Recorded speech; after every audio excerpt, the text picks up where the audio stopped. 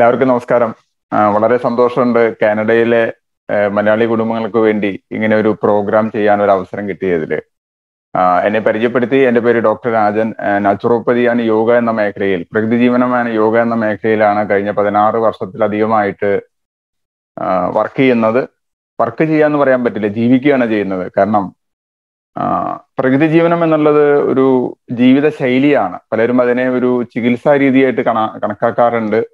കാരണം പ്രകൃതിയിൽ വളരുന്ന ജീവജാലങ്ങൾക്ക് രോഗങ്ങൾ വരാറില്ല. ആ ഒരു കൺസെപ്റ്റ് നമ്മുടെ ലൈഫിൽ എടുത്തു കഴിഞ്ഞാൽ നമുക്ക് രോഗങ്ങൾ വരില്ല. ഞാൻ കേരളത്തിലെ തൃശ്ശൂരാണ് താമസിക്കുന്നത്. എന്റെ ബ്രദറും സിസ്റ്ററും ആവശ്യപ്പെട്ടതിനനുസരിച്ചാണ് ഞാൻ ഒരു ഷോർട്ട് വിസിറ്റിന് വേണ്ടി കാനഡയിൽ വന്നത്. എന്തായാലും ഇവിടെ വന്ന് കണ്ടപ്പോൾ ഇവിടുത്തെ ആളുകളുമായിട്ട് സംവദിച്ചപ്പോൾ എല്ലാവരും ഒരു ഹെൽത്തി ലൈഫ് ആഗ്രഹിക്കുന്നവരാണ്. കമ്പയർ ടു കേരള ബെറ്റർ ആയിട്ടുള്ള ഒരു ലൈഫ് സ്റ്റൈൽ ഫോളോ ചെയ്യുന്നവരാണെന്ന് എനിക്ക് മനസ്സിലായി. പക്ഷേ അതിലും കുറച്ച് പോരായ്മകൾ ഉണ്ട്. ഒരു പക്ഷേ കറക്റ്റ് ചെയ്യാൻ. ഒരു ഒന്നും ഒന്ന് മെച്ചപ്പെടുത്താൻ ഈ പറഞ്ഞ ഒരു പ്രോഗ്രാം നിങ്ങളെ സഹായിക്കും. കാരണം നമ്മൾ കഴിക്കുന്ന ഭക്ഷണമാണ് നമുക്ക് ആരോഗ്യം നൽകുന്നതും രോഗം നൽകുന്നതും. നല്ല ഭക്ഷണം നല്ല ആരോഗ്യം തരുമെങ്കിൽ നല്ലതല്ലാത്ത ഭക്ഷണം അല്ലെങ്കിൽ ചീത്ത ഭക്ഷണം നമുക്ക് രോഗങ്ങൾ തരും. അപ്പോൾ ആ ഭക്ഷണം എങ്ങനെയാണ് ചീത്തയാവുന്നത്? ഭക്ഷണം ഒന്നും മോശമല്ല. പക്ഷെ അതിൽ ചില കോമ്പിനേഷൻ പലപ്പോഴും പ്രശ്നങ്ങൾ ഉണ്ടാക്കാറുണ്ട്. അതിനെക്കുറിച്ചുള്ള ജനറൽ ആയിട്ടുള്ള ഒരു അവയർനെസ് അപ്പോൾ എന്നെ പരിചയപ്പെടുത്തി എന്റെ വീട് കേരളത്തിലെ തൃശ്ശൂർ എന്ന് പറഞ്ഞ സ്ഥലത്താണ്. ഇരുപത് വർഷം ഞാൻ ഇന്ത്യൻ എയർഫോഴ്സിലായിരുന്നു മൂന്ന് വർഷത്തോളം എൻ ഐ എഫിൽ അധ്യാപകൻ പതിനാറ് വർഷത്തിലധികമായിട്ട് പ്രകൃതി ജീവനമായ യോഗ എന്ന മേഖലയിൽ വർക്ക് ചെയ്യുന്നു. അപ്പോൾ ഈ മേഖലയിൽ വർക്ക് ചെയ്തപ്പോൾ എനിക്കൊരു കാര്യം മനസ്സിലായി. രോഗങ്ങൾ വരാനുള്ള കാരണം നമ്മൾ കഴിക്കുന്ന ഭക്ഷണമോ അല്ലെങ്കിൽ അതിലൂടെ വരുന്ന പ്രശ്നങ്ങളാണ്. അതുകൊണ്ടാണ് ആധുനിക വൈദ്യശാസ്ത്രത്തിന്റെ പിതാവ് എന്നറിയപ്പെടുന്ന ഹിപ്പോക്രാറ്റ്സ് പറഞ്ഞത് your food is your medicine നിങ്ങൾ കഴിക്കുന്ന ഭക്ഷണമാണ് നിങ്ങളുടെ ആരോഗ്യം നൽകുക നിങ്ങളുടെ ശരീരം. അപ്പോൾ ആ ശരീരം നന്നാവണമെങ്കിൽ നല്ല ഭക്ഷണം കഴിക്കണം. അപ്പോ ഈ ഒരു കാലഘട്ടത്തിൽ പ്രകൃതി ജീവനത്തിന് ഒരുപാട് പ്രസക്തിയുണ്ട്. ഒരുപാട് രാജ്യങ്ങളിൽ ഒരുപാട് ആളുകൾ ഈ മേഖലയിലേക്ക് പതുക്കെ പതുക്കെ വരുന്നതായിട്ട് പുതിയ ട്രെൻഡുകൾ കാണിക്കുന്നു. അപ്പോ ഭക്ഷണത്തിലൂടെ നല്ല ആരോഗ്യം എന്നൊരു concept how to live without medicine എന്ന് ഒരുപാട് ആളുകളിലേക്ക് ഈ ആശയം എത്തിക്കാനുള്ള ഒരു ശ്രമം ഞാൻ നടത്തിയിട്ടുണ്ട്. എനിക്ക് തോന്നുന്നു ഏകദേശം ഒരു അയ്യായിരത്തിലധികം വേദികളിൽ ഈ ആശയം ഞാൻ പങ്കുവച്ചിട്ടുണ്ട്. ചെറിയ ചെറിയ ഓഡിയൻസ് മുതൽ വലിയ വലിയ ഓഡിയൻസ് വരെയുള്ള ഗ്രൂപ്പുകളിൽ ഇത് പങ്കുവച്ചിട്ടുണ്ട്. ഒരുപാട് ആളുകളുടെ ലൈഫിൽ മാറ്റങ്ങൾ ഉണ്ടായിട്ടുണ്ട്. ഒരു പക്ഷേ നിങ്ങളുടെ ലൈഫിലും ഇത് വലിയ വലിയ മാറ്റത്തിന്റെ ഒരു തുടക്കം ഉണ്ടായിരിക്കും. ഓക്കെ? അപ്പോ ഇത് ശ്രദ്ധാപൂർവം കേൾക്കുക ഇത് എത്രമാത്രം നിങ്ങളുടെ ജീവിതത്തിൽ പ്രാവർത്തികമാക്കാൻ പറ്റുമെന്ന് എനിക്കറിയില്ല. പക്ഷേ എത്രമാത്രം നിങ്ങൾ ശ്രമിക്കുന്നു അത്രമാത്രം നിങ്ങൾക്ക് അതിന്റെ റിസൾട്ട് കിട്ടും. അപ്പോൾ മനുഷ്യ ശരീരത്തിന്റെ ബേസിക് ആയിട്ടുള്ള കുറച്ച് കാര്യങ്ങൾ നിങ്ങൾക്കറിയാത്ത ഒരു കാര്യവും ഞാൻ പറയുന്നില്ല. നിങ്ങൾക്കറിയാത്ത ഒരു കാര്യവും ഞാൻ പറയാം എല്ലാം അറിയുന്ന കാര്യങ്ങൾ പക്ഷെ അതിനൊന്ന് പൊടി തട്ടി ഒന്ന് എടുക്കുകയാണ്. അപ്പോൾ എന്താണ് ആരോഗ്യമെന്നും ആരോഗ്യത്തിന്റെ പ്രസക്തി എന്താണെന്നും അത് ശരിയായിട്ട് മനസ്സിലാക്കി കഴിഞ്ഞാൽ ലൈഫ് വളരെ കംഫർട്ടബിൾ ആവും. കേരളത്തിന്റെ ഒരു കണക്കുണ്ട്. നിങ്ങൾ എല്ലാവരും ബേസിക്കലി ഒരു കേരളം എന്ന ബാ ബേസ് ഉള്ളവരാണ് അല്ലേ? അപ്പോ കേരളത്തിലെ കണക്ക് ഇതാണ്. ഒരു ആവറേജ് മലയാളി കുടുംബം രണ്ടായിരത്തി അറുന്നൂറ് രൂപ മരുന്നിനും ഡോക്ടർക്കും ആശുപത്രിക്കും മെഡിക്കൽ ഷോപ്പിനും മെഡിക്കൽ ഫെസിലിറ്റീസിനും വേണ്ടി മാറ്റിവെക്കുന്ന ഈ ഒരു കാലഘട്ടത്തിൽ കഴിഞ്ഞ പതിനാറ് വർഷമായിട്ട് എന്നെ സംബന്ധിച്ചോളം ആ എക്സ്പെൻസ് സീറോ ആണ്. ഞാൻ വെറുതെ ഒന്ന് കണക്കൂട്ടി നോക്കി. പതിനാറര വർഷം ഇന്റു രണ്ടായിരത്തി അറുന്നൂറ് ഇന്റു പന്ത്രണ്ട് മാസം ഏകദേശം അഞ്ച് ലക്ഷത്തി പതിനെണ്ണായിരം രൂപ. അഞ്ച് ലക്ഷത്തി പതിനെണ്ണായിരം രൂപ എനിക്ക് സേവ് ചെയ്യാൻ പറ്റും. ഞാൻ എന്താ ചെയ്തത് എന്റെ ജീവിതത്തിൽ ചെറിയ ചെറിയ മാറ്റങ്ങൾ വരുത്തി. ആ മാറ്റങ്ങളെ കുറിച്ച് മാത്രമാണ് ഞാൻ നിങ്ങളോട് ഷെയർ ചെയ്യുന്നത്. അപ്പോൾ ആരോഗ്യത്തെ കുറിച്ചുള്ള ഒരു ബേസിക് ഉള്ള കൺസെപ്റ്റ് ഉണ്ട്. ഡബ്ല്യു എച്ച് പറയുന്ന ഒരു കൺസെപ്റ്റ് ഉണ്ട്. It is a wellbeing of body mind and society ശരീരത്തിന്റെയും മനസ്സിന്റെയും സമൂഹത്തിന്റെയും സുസ്ഥിതിയാണ് ആരോഗ്യമെങ്കിൽ ആരോഗ്യമുള്ള ആളുകൾ കുറവാ. വളരെ കുറവാണ് ഫിസിക്കൽ പ്രോഗ്രാമുകളിൽ മുന്നൂറും നാനൂറും അഞ്ഞൂറും ആയിരം അയ്യായിരം ആറായിരം വരെ ആളുകൾ പങ്കെടുക്കുന്ന പ്രോഗ്രാമുകളിൽ ഞാൻ ഈ ചോദ്യം ചോദിക്കുമ്പോൾ വളരെ കുറച്ച് ആളുകളെ കൈവക്കാറുള്ളൂ. ആളുകളെയൊക്കെ ധാരണ രോഗമില്ലാത്ത അവസ്ഥ ആരോഗ്യമാണെന്ന് അല്ല. രോഗമില്ലാത്ത അവസ്ഥയല്ല ആരോഗ്യം. ആരോഗ്യം എന്ന കൺസെപ്റ്റിൽ മൂന്ന് കാര്യങ്ങൾ കൂടി ചേരുമ്പോൾ ശരിക്കുള്ള ആരോഗ്യം. ഒന്ന് ശരീരത്തിന് നല്ല സുഖം വേണം. ശരീരത്തിന് ആർക്കും സുഖമില്ല. ഭൂരിപക്ഷം പേർക്ക് എന്തെങ്കിലുമൊക്കെ ഇഷ്യൂസ് ഉണ്ട്. മനസ്സിന് നല്ല സുഖമാണ് അത് തീരെയില്ല. സമൂഹത്തിനോ തീ അത്രയില്ല. അല്ലേ? അതൊക്കെ കൂടി പ്രശ്നങ്ങളാണ്. അപ്പൊ ഈ മൂന്ന് കാര്യങ്ങൾ it is a wellbeing of body mind and society ശരീരത്തിന്റെയും മനസ്സിന്റെയും സമൂഹത്തിന്റെയും സുസ്ഥിതി ആണ് യഥാർത്ഥ ആരോഗ്യമെങ്കിൽ. അതിന്റെ ആദ്യത്തെ ഒരു പാർട്ട് മാത്രം ഞാൻ പറയാം. എങ്ങനെയാണ് നമ്മുടെ ശരീരത്തിന് രോഗങ്ങൾ വരുന്നത്? നമ്മുടെ ശരീരത്തിന് അഞ്ച് തരത്തിലെ ശുദ്ധീകരണ പ്രവർത്തനങ്ങളുണ്ട്. ശുദ്ധീകരണം എന്ന് വെച്ച് കഴിഞ്ഞാൽ ക്ലൻസിങ് ഏറ്റവും പ്രധാനപ്പെട്ടതാണ് ഉച്ഛ്വാസവായു ഉച്ഛ്വാസവായു ശക്തമായ ഒരു ശരീരത്തിൽ ഒരു രോഗവും വരില്ല. തുമ്മൽ വരില്ല ജലദോഷം വരില്ല കഫക്കെട്ട് വരില്ല ആസ്മ വരില്ല അലർജി വരില്ല ശ്വാസം മുട്ട് വരില്ല. ഉച്ഛ്വാസവായു ശക്തമാണെങ്കിൽ നമ്മൾ എന്ത് ചെയ്യണം? നമ്മൾ നന്നായിട്ട് വ്യായാമം ചെയ്യണം. ഈ കൂട്ടത്തിൽ എത്ര പേര് റെഗുലറായിട്ട് വ്യായാമം ചെയ്യുന്നവരുണ്ടെന്ന് എനിക്കറിയില്ല. പക്ഷെ ഞാൻ കേരളത്തിൽ കണ്ടതിനേക്കാൾ കമ്പാരിറ്റീവ്ലി ബെറ്റർ ആയിട്ടുള്ള ഒരു എക്സസൈസിനോടുള്ള ഒരു താല്പര്യം ഈ നാട്ടിലുള്ള ആളുകൾ കണ്ടിട്ടുണ്ട്. ഓക്കെ അപ്പോൾ റെഗുലർ ആയിട്ട് വ്യായാമം ചെയ്യുമ്പോൾ എന്താ സംഭവിക്കുക? നമ്മുടെ ശ്വാസകോശത്തിന്റെ കപ്പാസിറ്റി കൂടും. ഒരു ആവറേജ് മലയാളിയുടെ ശ്വാസകോശത്തിന്റെ കപ്പാസിറ്റി തേർട്ടി പെർസെന്റേജാണ് എന്ന് വെച്ചാൽ നമ്മുടെ ശരീരത്തിലേക്ക് വേണ്ട ഓക്സിജന്റെ മുപ്പത് ശതമാനം മാത്രമേ കിട്ടുന്നുള്ളൂ. ബാക്കി എഴുപത് ശതമാനം പൊടിയടിഞ്ഞ് കിടക്കുകയാണ്. അപ്പൊ അതിനൊന്ന് കൂട്ടാൻ എന്ത് ചെയ്യണം? ബ്രീത്തിങ് പ്രാക്ടീസ് ചെയ്യണം. റെഗുലർ ആയിട്ട് വ്യായാമം ചെയ്യണം. റെഗുലർ ആയിട്ട് ജോഗിങ് ചെയ്യാം. ഓടാം ചാടാം അല്ലെങ്കിൽ ഡാൻസ് ചെയ്യാം. Whatever it is regular ആയിട്ട് നിങ്ങൾ ഒരു അരമണിക്കൂർ ശരീരം വിയർക്കാവുന്ന രീതിയിൽ അല്ലെങ്കിൽ ചൂടാകാവുന്ന രീതിയിൽ വ്യായാമം ചെയ്യാൻ സാധിച്ചാൽ ശ്വസന സംബന്ധമായ സർവ പ്രശ്നങ്ങളും മാറും. കുറയുന്നല്ല പറയുന്നത് മാറുന്ന പറയുന്നത്. റെഗുലർ ആയിട്ട്. കാരണം ഓക്സിജന്റെ അളവ് നമ്മുടെ ശരീരത്തിൽ കൂടുമ്പോൾ നമ്മുടെ ശരീരത്തിൽ ഹിമോഗ്ലോബിന്റെ ലെവൽ കൂടും. ഹിമോഗ്ലോബിന്റെ ലെവൽ കൂടുമ്പോൾ നമ്മുടെ ശരീരത്തിൽ നല്ല കൊളസ്ട്രോൾ ആയ എച്ച് ഡി എൽ കൂടും. എച്ച് ഡി എൽ കൂടുമ്പോൾ നമ്മുടെ ശരീരത്തിന്റെ പ്രതിരോധ ശേഷി കൂടും. പ്രതിരോധ ശേഷി കൂടുമ്പോൾ രോഗങ്ങൾ വരില്ല. അത്രയേ ഉള്ളൂ. അപ്പൊ ഉച്ഛ്വാസവായു ശക്തമാവണം. ഈ ഉച്ഛ്വാസവായു ശക്തമല്ലെങ്കിൽ അത് തുമ്മലായിട്ടും ജലദോഷമായിട്ടും കഫക്കെട്ടായിട്ടും വരും. അപ്പൊ നമ്മൾ അതിന് മരുന്ന് കഴിക്കും. അത് ശരീരത്തിന്റെ ഒരു കൃത്രിമമായിട്ടുള്ള ശുദ്ധീകരണമാണ്.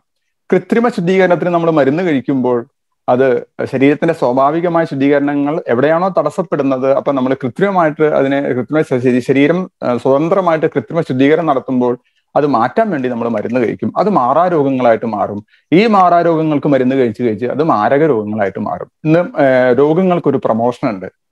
ഓക്കെ. തുമ്മലും ജലദോഷത്തിന് സ്ഥിരമായിട്ട് മരുന്ന് കഴിക്കുന്ന ആൾക്ക് പിന്നെ വരുന്നതാണ് മൈഗ്രെയിൻ. മൈഗ്രെയിൻ മാറ്റാൻ വേണ്ടി വീണ്ടും മരുന്ന് കഴിക്കുമ്പോൾ അല്ലെങ്കിൽ അതുമായി ബന്ധപ്പെട്ട മരുന്നുകൾ കഴിക്കുമ്പോൾ പിന്നെ അത് സ്ഥിരമായിട്ടുള്ള ശ്വാസം മുട്ടലും ബ്രീത്തിങ് പ്രോബ്ലം ആയിട്ട് മാറും. അൾട്ടിമേറ്റ്ലി അത് ശ്വാസകോശത്തിന്റെ കപ്പാസിറ്റി കുറഞ്ഞു കുറഞ്ഞ് ഒരു സുപ്രഭാതത്തിൽ നിലച്ചു പോകുന്ന ഒരു അവസ്ഥയിലോട്ട് വരും. അപ്പൊ രോഗം ശരീരത്തിന്റെ സ്വാഭാവികമായ ശുദ്ധീകരണങ്ങളെ മനസ്സിലാകും ഒന്ന് ഉച്ഛ്വാസവായു. അപ്പൊ ശക്തമായ ഉച്ഛ്വാസവായുവുള്ള ഒരു ശരീരത്തിലും ശ്വസന സംബന്ധമായ ഒരു രോഗങ്ങളും വരില്ല. ധാരാളം ആളുകൾക്ക് ഇങ്ങനെ പ്രശ്നങ്ങളുണ്ട്. ഓക്കെ രണ്ടാമത്താണ് വിയർപ്പ്.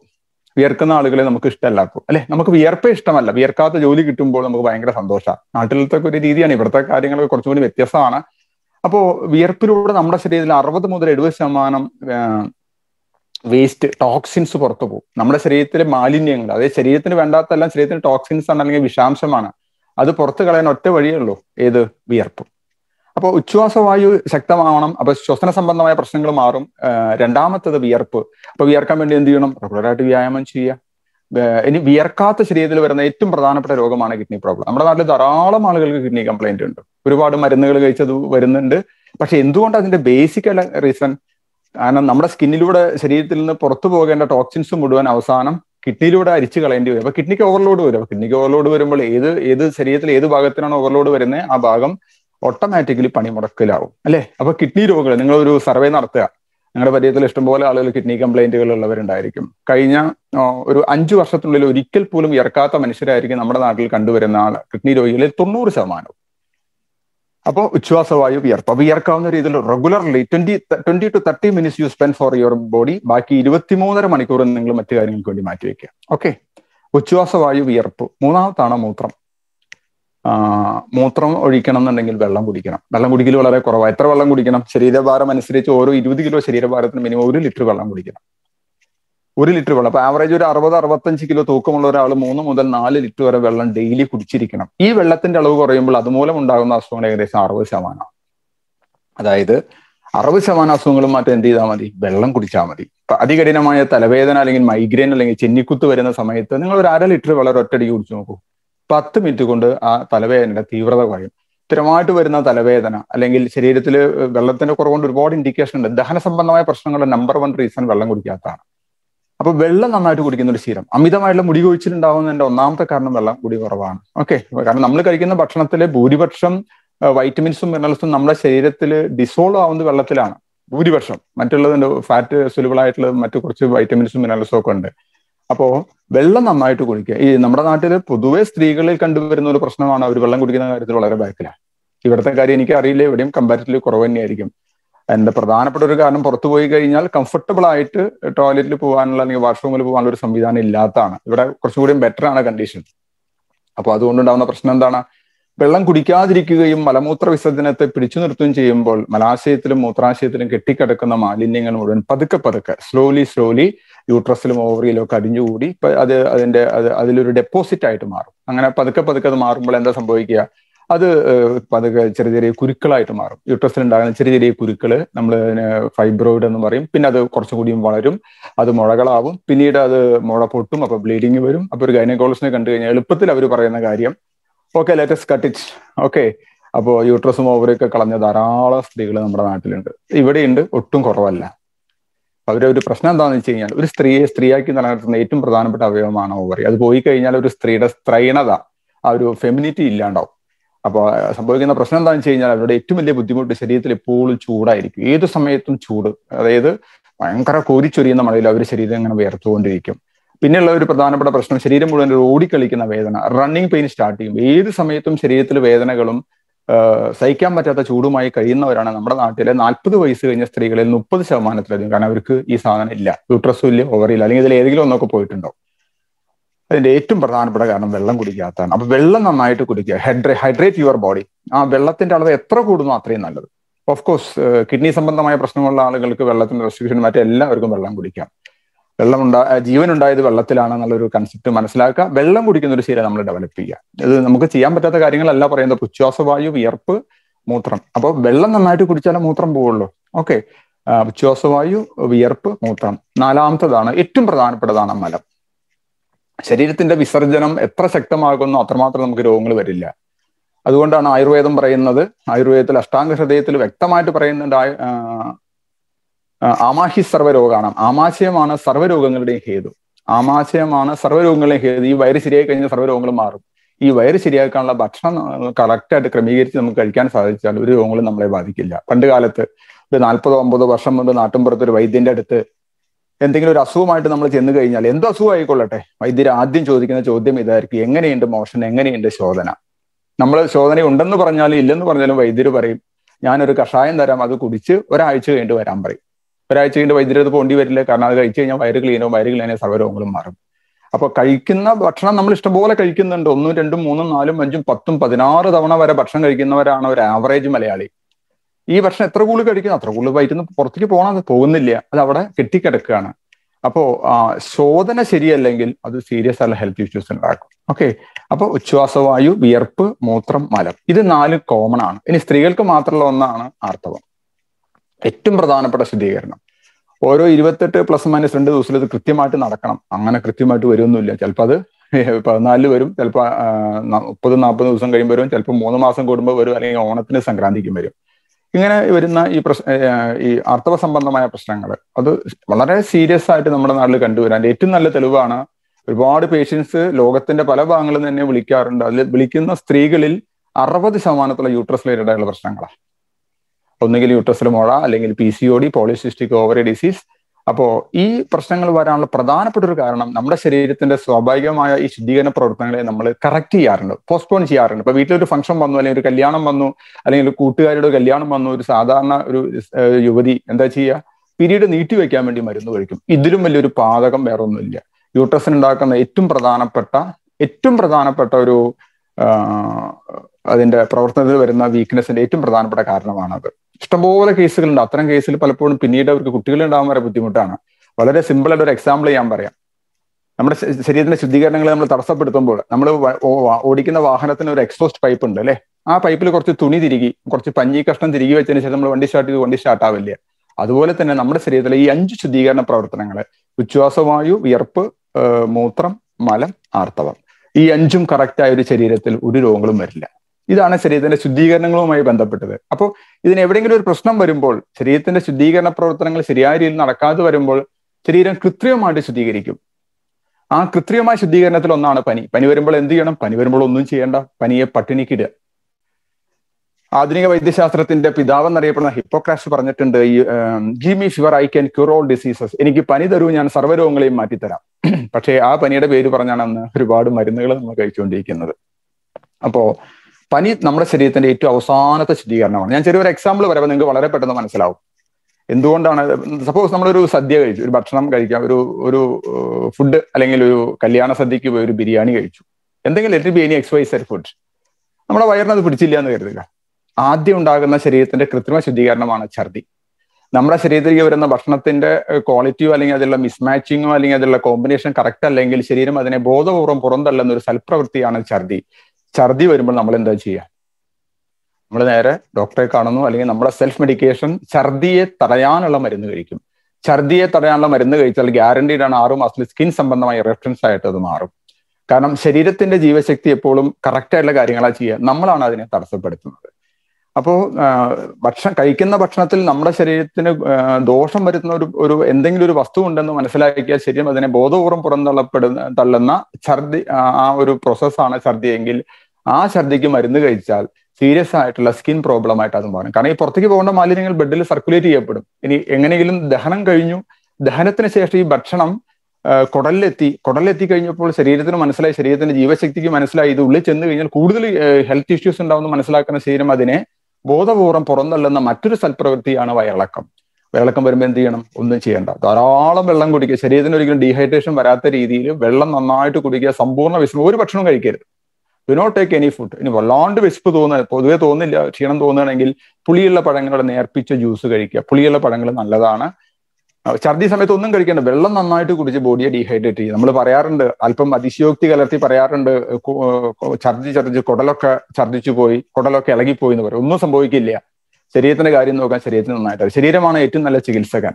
അപ്പോ ഈ ഛർദി അല്ലെങ്കിൽ വയറിളക്കം പറ്റുന്ന സമയത്ത് സാധാരണഗതിയിൽ നമ്മൾ കഴിക്കുന്ന ഭക്ഷണത്തിലെ വെള്ളത്തിനെയും പോഷണങ്ങളും വലിച്ചെടുത്താൽ വേസ്റ്റ് ആണ് പുറത്തേക്ക് മലമായിട്ട് പോകുന്നതെങ്കിൽ ഒരു എമർജൻസി സിറ്റുവേഷൻ ശരീരത്തിൽ ഉണ്ടാകുമ്പോൾ ശരീരത്തിലെ വൻകുടലിലൊക്കെ വെള്ളം പമ്പ് ചെയ്ത് അതിനെ കംപ്ലീറ്റ്ലി ഫ്ലഷ് ഔട്ട് ചെയ്ത് ശരീരത്തെ ശുദ്ധീകരിക്കുകയാണ് ശരീരം ചെയ്യുന്നത്. ആ സമയത്ത് നമ്മൾ അതിനെ ഇംഗ്ലീഷ് മരുന്ന് കഴിച്ച് ഛർദി വയറിളക്കത്തെ ഇല്ലാണ്ടാക്കും. ആ മാലിന്യങ്ങൾ രക്തത്തിൽ കലർന്നാൽ നമ്മുടെ സ്കിന്നിൽ പലയിടത്തും എത്തി. സ്കിൻ ഇറപ്ഷൻസ് ആയിട്ട് മാറും ചൊറിച്ചിലായിട്ട് മാറും ചൊറിയായിട്ട് മാറും സൊറിയാസിസ് ആയിട്ട് മാറും എക്സിമയായിട്ട് മാറും കാരയായിട്ട് മാറും പലതരത്തിലുള്ള സ്കിൻ പ്രോബ്ലംസ് വരുന്നുണ്ട്. അപ്പോൾ അപ്പോൾ ശരീരത്തിൽ കഴിക്കുന്ന ഭക്ഷണം നമ്മൾ തെറ്റായ ഭക്ഷണം അല്ലെങ്കിൽ തെറ്റായ കോമ്പിനേഷനിലൂടെ വരുന്ന ഭക്ഷണം ഉള്ളിൽ ചെന്ന് കഴിഞ്ഞാൽ ശരീരം അതിനെ ഭംഗിയായിട്ട് പുറന്തള്ളും. അത് ശരീരത്തിന്റെ കൃത്രിമ ശുദ്ധീകരണമാണ്. ഇനി ഇതെല്ലാം കഴിഞ്ഞു ഈ ടോക്സിൻസ് മുഴുവൻ നമ്മുടെ ബ്ലഡിൽ കയറി. ടോക്സിൻ എന്ന് വെച്ച് കഴിഞ്ഞാൽ വിഷാംശം. എന്നാൽ അത് പോയിസൺ എന്നൊരു അർത്ഥമില്ല ശരീരത്തിന് വേണ്ടാത്തത് എന്തും ശരീരത്തിന് ടോക്സിനാണ് ഇത് വേറെ എവിടെയും കളയാൻ ഒരു വഴിയില്ലെങ്കിൽ അത് അവസാനം കത്തിച്ച് കളയുന്ന ഒരു ലാസ്റ്റ് പ്രോസസ്സാണ് പനി. ആ പനിയിലൂടെ നിങ്ങൾ ശ്രദ്ധിച്ചിട്ടുണ്ടായിരിക്കും നമ്മുടെ ശരീരത്തിൽ ചില മുഴകളൊക്കെ കടുത്ത പനിയിലൂടെ തനിയെ പ്രത്യക്ഷമാവും. ശരീരത്തിൽ പല ഭാഗങ്ങളും മുഴകൾ വരാണ്ട് ഒരു നല്ല പനി വരുമ്പോൾ അതങ്ങ് പോകും കാരണം അത് ടോക്സിൻസ് അടിഞ്ഞു കൂടണ ഈ പനിയിലൂടെ അതിനെ ബേൺ ചെയ്ത് കളയണം. പനി വരുമ്പോൾ എന്ത് ചെയ്യണം? സമ്പൂർണ വിശ്രമം. പനിയെ പട്ടിണിക്കിട്ട് ഒരു ഭക്ഷണം കഴിക്കരുത്. പുളിയുള്ള പഴങ്ങളെ ജ്യൂസ് വേണമെങ്കിൽ കഴിക്കാൻ നന്നായിട്ട് വെള്ളം കുടിക്കുക. ശരീരം ഇളം ചൂടുവെള്ളം കൊണ്ടൊന്ന് സ്പോഞ്ച് ചെയ്യുക. വയറ്റത്ത് നനഞ്ഞ തുണി ഇടുക തലയിൽ നനഞ്ഞ തുണി ഇടുക നെറ്റിയിൽ നനഞ്ഞ തുണി ഇടുക. സമ്പൂർണ വിശ്രമം. പനി വരുമ്പോൾ തൊണ്ടയിൽ ഒരു വേദനയുണ്ടും ഭക്ഷണം ഇറക്കരുത് എന്നാണ് പറയാ. ആ സമയത്താണ് നമ്മൾ കൂടുതൽ ഭക്ഷണം കഴിക്കാൻ വേണ്ടി. അല്ലെ? രോഗം വരുമ്പോൾ രോഗത്തിന് വിശ്രമമാണ് വേണ്ടത്. അപ്പൊ ഭക്ഷണം നമ്മൾ കഴിച്ചു കഴിഞ്ഞാൽ ആ രോഗാവസ്ഥ കൂടുക ചെയ്യുക ജലദോഷം വരുന്ന സമയത്ത് നല്ല കടുത്ത ജലദോഷം തൊണ്ടവേനയ്ക്ക് വരുന്ന സമയത്ത് നമ്മൾ കുറച്ച് ഭക്ഷണം കഴിച്ചോളൂ. പത്ത് മിനിറ്റ് കൊണ്ട് ജലദോഷത്തിന്റെ ആ തീവ്രത പതിന് മടങ്ങ് വർദ്ധിക്കും. അപ്പോ ശരീരത്തിന്റെ ആ ഒരു നാച്ചറിനെ നമ്മൾ മനസ്സിലാക്കണം. ശരീരം എല്ലാ കാര്യങ്ങളും ചെയ്യും. അവരുടെ ബോഡി നമ്മുടെ ശരീരമാണ് ഏറ്റവും നല്ല ചികിത്സകൻ എന്നൊരു അറിവ് നമുക്ക് ഉണ്ടായാൽ മതി. അത് മനസ്സിലാക്കാൻ കുറച്ച് ബുദ്ധിമുട്ടാ. കാരണം ആധുനിക വൈദ്യശാസ്ത്രത്തിന്റെ ചില മെത്തേഡുകളും കാര്യങ്ങളൊക്കെ വന്നു. എന്ത് വന്നാലും അപ്പം മരുന്ന് എന്നുള്ള ഒരു കൺസെപ്റ്റിലേക്ക് നമ്മൾ മാറിക്കഴിഞ്ഞു. അല്പം ഒന്ന് മാറി ചിന്തിച്ചാൽ നിങ്ങൾ ആലോചിച്ച് നോക്കുക. മുൻകാലങ്ങളിലൊക്കെ ഇപ്പൊ എന്റെയൊക്കെ ചെറുപ്പത്തിൽ പനി വന്നാൽ ഒന്നുമില്ല. പനി വന്നാൽ ഒരു ഭക്ഷണം തരില്ല. പൊതച്ചു മൂടി കിടക്കാൻ പറയും. ഒരു ചുക്ക് കാപ്പി തുളസിയുടെ ഇലയും ചുക്കും കുരുമുളകും എല്ലാം കൊണ്ടിട്ട് തിളപ്പിച്ച് ഒരു കാപ്പി കുടിച്ച് കരിമ്പടത്തിന്റെ ഉള്ളിൽ പുതപ്പിനുള്ളിൽ മൂടി പൊതച്ച് കിടന്ന് പനിയേക്കാൾ വലിയൊരു ചൂട് ശരീരത്തിലുണ്ടാക്കി മൊത്തം വിയർപ്പിച്ചു കഴിഞ്ഞാൽ പനി തനിയെ പോകും. ഓക്കെ? ഇത്രയുള്ള സംഗതി. ആരോഗ്യത്തിന്റെ കൺസെപ്റ്റ് വളരെ സിമ്പിളാണ് നമ്മളാണ് അതിനെ കോംപ്ലിക്കേറ്റഡ് ആക്കുന്നത് അപ്പോ ഒരു കൊച്ചുകുട്ടി മുറ്റത്ത് ഓടി കളിക്കുമ്പോൾ വീണ് മുട്ടുപൊട്ടി എന്ന് കരുതുക. മുട്ടുപൊട്ടി മുട്ടിൽ ചോര വന്നു. കുട്ടി അറിഞ്ഞൊന്നുമില്ല. ആ ചോര കണ്ടിന്യൂസ് ആയിട്ട് പോവില്ല. കുറച്ച് കഴിയുമ്പോൾ പ്ലേറ്റ്ലെറ്റുകളെ അവിടെ അയച്ച് അവിടെ ഒരു വല കിട്ടും. ശരീരം തന്നെ ചെയ്യുന്നതാണ്. എന്നിട്ട് അവിടെ ചെറുതായിട്ടൊരു നീരുണ്ടാക്കും. പിന്നെ അവിടെ ഒരു പൊറ്റ കിട്ടും. പിന്നെ അത് പൊറ്റ പതുക്കെ പതുക്കെ പൊളിഞ്ഞു പോകും. പിന്നെ അവിടെ ഒരു വെളുത്ത പാട് വരും. പിന്നെ പതുക്കെ പതുക്കെ ഒന്നോ രണ്ടോ ആഴ്ച കൊണ്ട് ആ ആ മുറിവ് തനിയെ മാറും. ഇത് ശരി നമ്മൾ ആവശ്യപ്പെട്ടിട്ട് ശരീരം സ്വയം ചെയ്യുന്നതാണ്. സോ നമ്മുടെ ശരീരമാണ് ഏറ്റവും നല്ല ചികിത്സകൻ എന്നൊരു അറിവ് നമുക്ക് ഉണ്ടായാൽ കാര്യങ്ങളെ കുറച്ച് ഈസിയാണ്. അപ്പൊ ഞാൻ അഞ്ച് തരത്തിലെ ശുദ്ധീകരണങ്ങളെ കുറിച്ച് പറഞ്ഞു. ഉച്ഛ്വാസവായു വിയർപ്പ് മൂത്രം മലം ആർത്തവം. ഇത് അഞ്ചും കൃത്യമായി നടക്കുന്ന ഒരു ശരീരത്തിലും ഒരു രോഗങ്ങളും വരില്ല. ഇതിന് എവിടെയെങ്കിലും ഒരു തടസ്സം വരുമ്പോൾ ശരീരം അതിനെ കൃത്രിമമായിട്ട് ശുദ്ധീകരിക്കും. ആ കൃത്രിമ ശുദ്ധീകരണത്തിലൂടെ ആ അഴുക്കളൊക്കെ പുറത്തു പോകും. അവിടെയാണ് നമ്മൾ അതിനെ മരുന്ന് കഴിച്ച് തടയുന്നത്. ഓക്കെ ഇനി അപ്പോ സ്വാഭാവിക ശുദ്ധീകരണങ്ങൾ ശരീരം നടത്തുമ്പോൾ നമ്മളത് അത് പ്രോപ്പറായിട്ട് നടന്നില്ലെങ്കിൽ ശരീരം കൃത്രിമമായിട്ട് ശുദ്ധീകരിക്കും. അതിനെ നമ്മൾ മരുന്ന് കഴിച്ച് മാറ്റാൻ ശ്രമിക്കുമ്പോൾ അത് മാറാ രോഗങ്ങളായിട്ട് മാറും. ഈ മാറാ രോഗങ്ങൾക്ക് മരുന്ന് കഴിച്ച് കഴിച്ച് അത് മാരക രോഗങ്ങളായിട്ട് മാറും. ഇങ്ങനെയാണ് രോഗങ്ങൾ കൂടുന്നത് അല്ലെ? എട്ടോ പത്തോ വർഷം മുൻപ് ഒരു രോഗത്തിന് ചികിത്സ തേടി പോയ ഒരാൾ ഇന്ന് മൂന്നോ നാലോ രോഗങ്ങൾക്ക് മരുന്ന് കഴിക്കുന്നവരാണ് നിങ്ങളുടെ അനുഭവത്തിൽ സ്വന്തം അനുഭവത്തിൽ ബന്ധുക്കളുടെ അനുഭവത്തിൽ സുഹൃത്തുക്കളുടെ അനുഭവത്തിൽ നിങ്ങൾ ആലോചിച്ച് നോക്കൂ. എന്തുകൊണ്ട് ഇത്ര മാത്രം മരുന്നുകൾ ഇപ്പോൾ സിമ്പിൾ ആയിട്ടുള്ള ഒരു ഒരു ചോദ്യം ഞാൻ ചോദിക്കുകയാണ്. പനി വരുമ്പോൾ നമ്മൾ പാരസെറ്റമോൾ ഇവിടെ എന്താ കഴിക്കുന്നത് എനിക്കറിയില്ല. എന്തായാലും ഏതെങ്കിലും ഒരു മോളോ മോനോ ഉണ്ടോ? ഒന്നുകിൽ നാട്ടിലൊക്കെ ധാരാളം പാരസെറ്റമോൾ ക്രോസിന് അങ്ങനെ കുറെ ഗുളികകളുണ്ട്. പനി വരുമ്പോൾ പാരസെറ്റമോൾ കഴിച്ചാൽ പനി മാറുമെങ്കിൽ ആ പാരസെറ്റമോളിന്റെ അപര്യാപ്തത കൊണ്ടാണോ നമ്മുടെ ശരീരത്തിൽ പനി വന്നത് അല്ല. സിമ്പിൾ ഇത്രയുള്ള കാര്യം. അപ്പൊ ശരീരത്തിന്റെ ആ സ്വഭാവം ഒന്ന് മനസ്സിലാക്കുക. പ്രകൃതിയിലെ ജീവജാലങ്ങളിൽ രോഗങ്ങൾ വരാറില്ല? അവ പ്രകൃതിയുമായി ഇണങ്ങി കഴിയുന്നു. അപ്പൊ അതുകൊണ്ട് രോഗങ്ങളില്ല. പ്രകൃതിയുടെ രീതി ബേസിക്കലി ഒരു പഞ്ചഭൂത സിദ്ധാന്തം എന്ന് പറയും. ഫൈവ് എലമെന്റ് തിയറി കട്ടിയുള്ള തിയറി എന്നല്ല നമുക്ക് എല്ലാവർക്കും മനസ്സിലാക്കാൻ പറ്റുന്നതാണ്. നമ്മുടെ ശരീരം ഉണ്ടാക്കിയിരുന്ന അഞ്ച് എലമെന്റ് കൊണ്ടാണ് ആകാശം അഗ്നി വായു ഭൂമി ജലം പഞ്ചഭൂതങ്ങൾ. ഈ പഞ്ചഭൂതങ്ങളുടെ അളവ് നമ്മുടെ ശരീരത്തിൽ കൃത്യമായിട്ട് വന്ന് നമുക്ക് രോഗങ്ങൾ വരില്ലേ? ഒരു രോഗങ്ങളും വരില്ലേ? ഏറ്റവും പ്രധാനപ്പെട്ടതാണ് ആകാശം അഗ്നി വായു ഭൂമി ജലം. അതിൽ വെള്ളത്തിന്റെ കാര്യം ഞാൻ പറഞ്ഞു. വെള്ളം നന്നായിട്ട് കുടിക്കുക. കുറച്ച് സമയം വെള്ളത്തിൽ ഇരിക്കുന്നത് നല്ലതാണ്. ഹിബാത്ത് ഹിബാത്ത് എന്ന് വെച്ച് കഴിഞ്ഞാൽ അരമണിക്കൂർ അരക്കെട്ട് തണുക്കുന്ന രീതിയിൽ നമ്മുടെ വീട്ടിലുള്ള സിങ്കിലോ അല്ലെങ്കിൽ അടുക്കളയിലൊക്കെ ഉപയോഗിക്കുന്ന പ്ലാസ്റ്റിക്കിന്റെ ഒരു ടബിൽ പച്ചവെള്ളം നിറച്ച് അരമണിക്കൂർ അതിൽ ഇരിക്കാൻ സാധിച്ചാൽ ദഹന സംബന്ധമായ ഒമ്പത് അസുഖങ്ങൾ. നെഞ്ചിരിച്ചിൽ പുളിച്ചു തകിട്ടൽ മലബന്ധം gas trouble ulcer ulcerative colitis മൂലക്കുരു fistula hernia. ഒൻപത് അസുഖങ്ങളിൽ ഏതെങ്കിലും ഒരു അസുഖം ഇല്ലാത്ത ഒരാളും ഇല്ല. എല്ലാവർക്കും എന്തെങ്കിലുമൊക്കെ ഉണ്ടായിരിക്കും. എന്തെങ്കിലും സംതിങ് സംതിങ് സംതിങ്. അതിന് അരമണിക്കൂർ വെള്ളത്തിലിരുന്നാൽ മതി നമുക്ക് ഒരു പൈസയും ചെലവില്ല. ജലചികിത്സ. എന്തുകൊണ്ട് വെള്ളത്തിലിരിക്കണം എന്ന് വെച്ച് കഴിഞ്ഞാൽ പണ്ട് കാലത്ത് നമ്മൾ കുളത്തിലും പുഴയിലും തോട്ടിലും ഒക്കെ കുളിക്കാറുണ്ട്. എന്നാൽ അതിനുള്ള അവസരങ്ങളൊന്നുമില്ല. കുളിക്കണത് ബാത്റൂമിലാണ്. കുളിക്കാൻ എടുക്കുന്ന ടൈം രണ്ട് മുതൽ മൂന്ന് മിനിറ്റ്. കാക്കക്കുളി എന്ന് പറയും. അപ്പോൾ വെള്ളത്തിൽ കുളിക്കുമ്പോൾ നമ്മൾ വെള്ളത്തിൽ പുഴയിലൊക്കെ കുളിക്കുമ്പോൾ അരക്കെട്ട് തണുക്കും. ഇന്ന് അരക്കെട്ട് തണുക്കാനുള്ള സമയമില്ല. അല്ലേ? ധരിക്കുന്ന വസ്ത്രങ്ങൾ കോട്ടൺ അല്ല ലിനൻ അല്ല മസ്ലീൻ അല്ല ടെറിക്കോട്ടൺ അല്ല മുഴുവൻ പോളിസ്റ്ററാണ് മിനിമം മൂന്നോ ലെയർ ഡ്രസ്സ് അരക്കെട്ട് കവർ ചെയ്യും.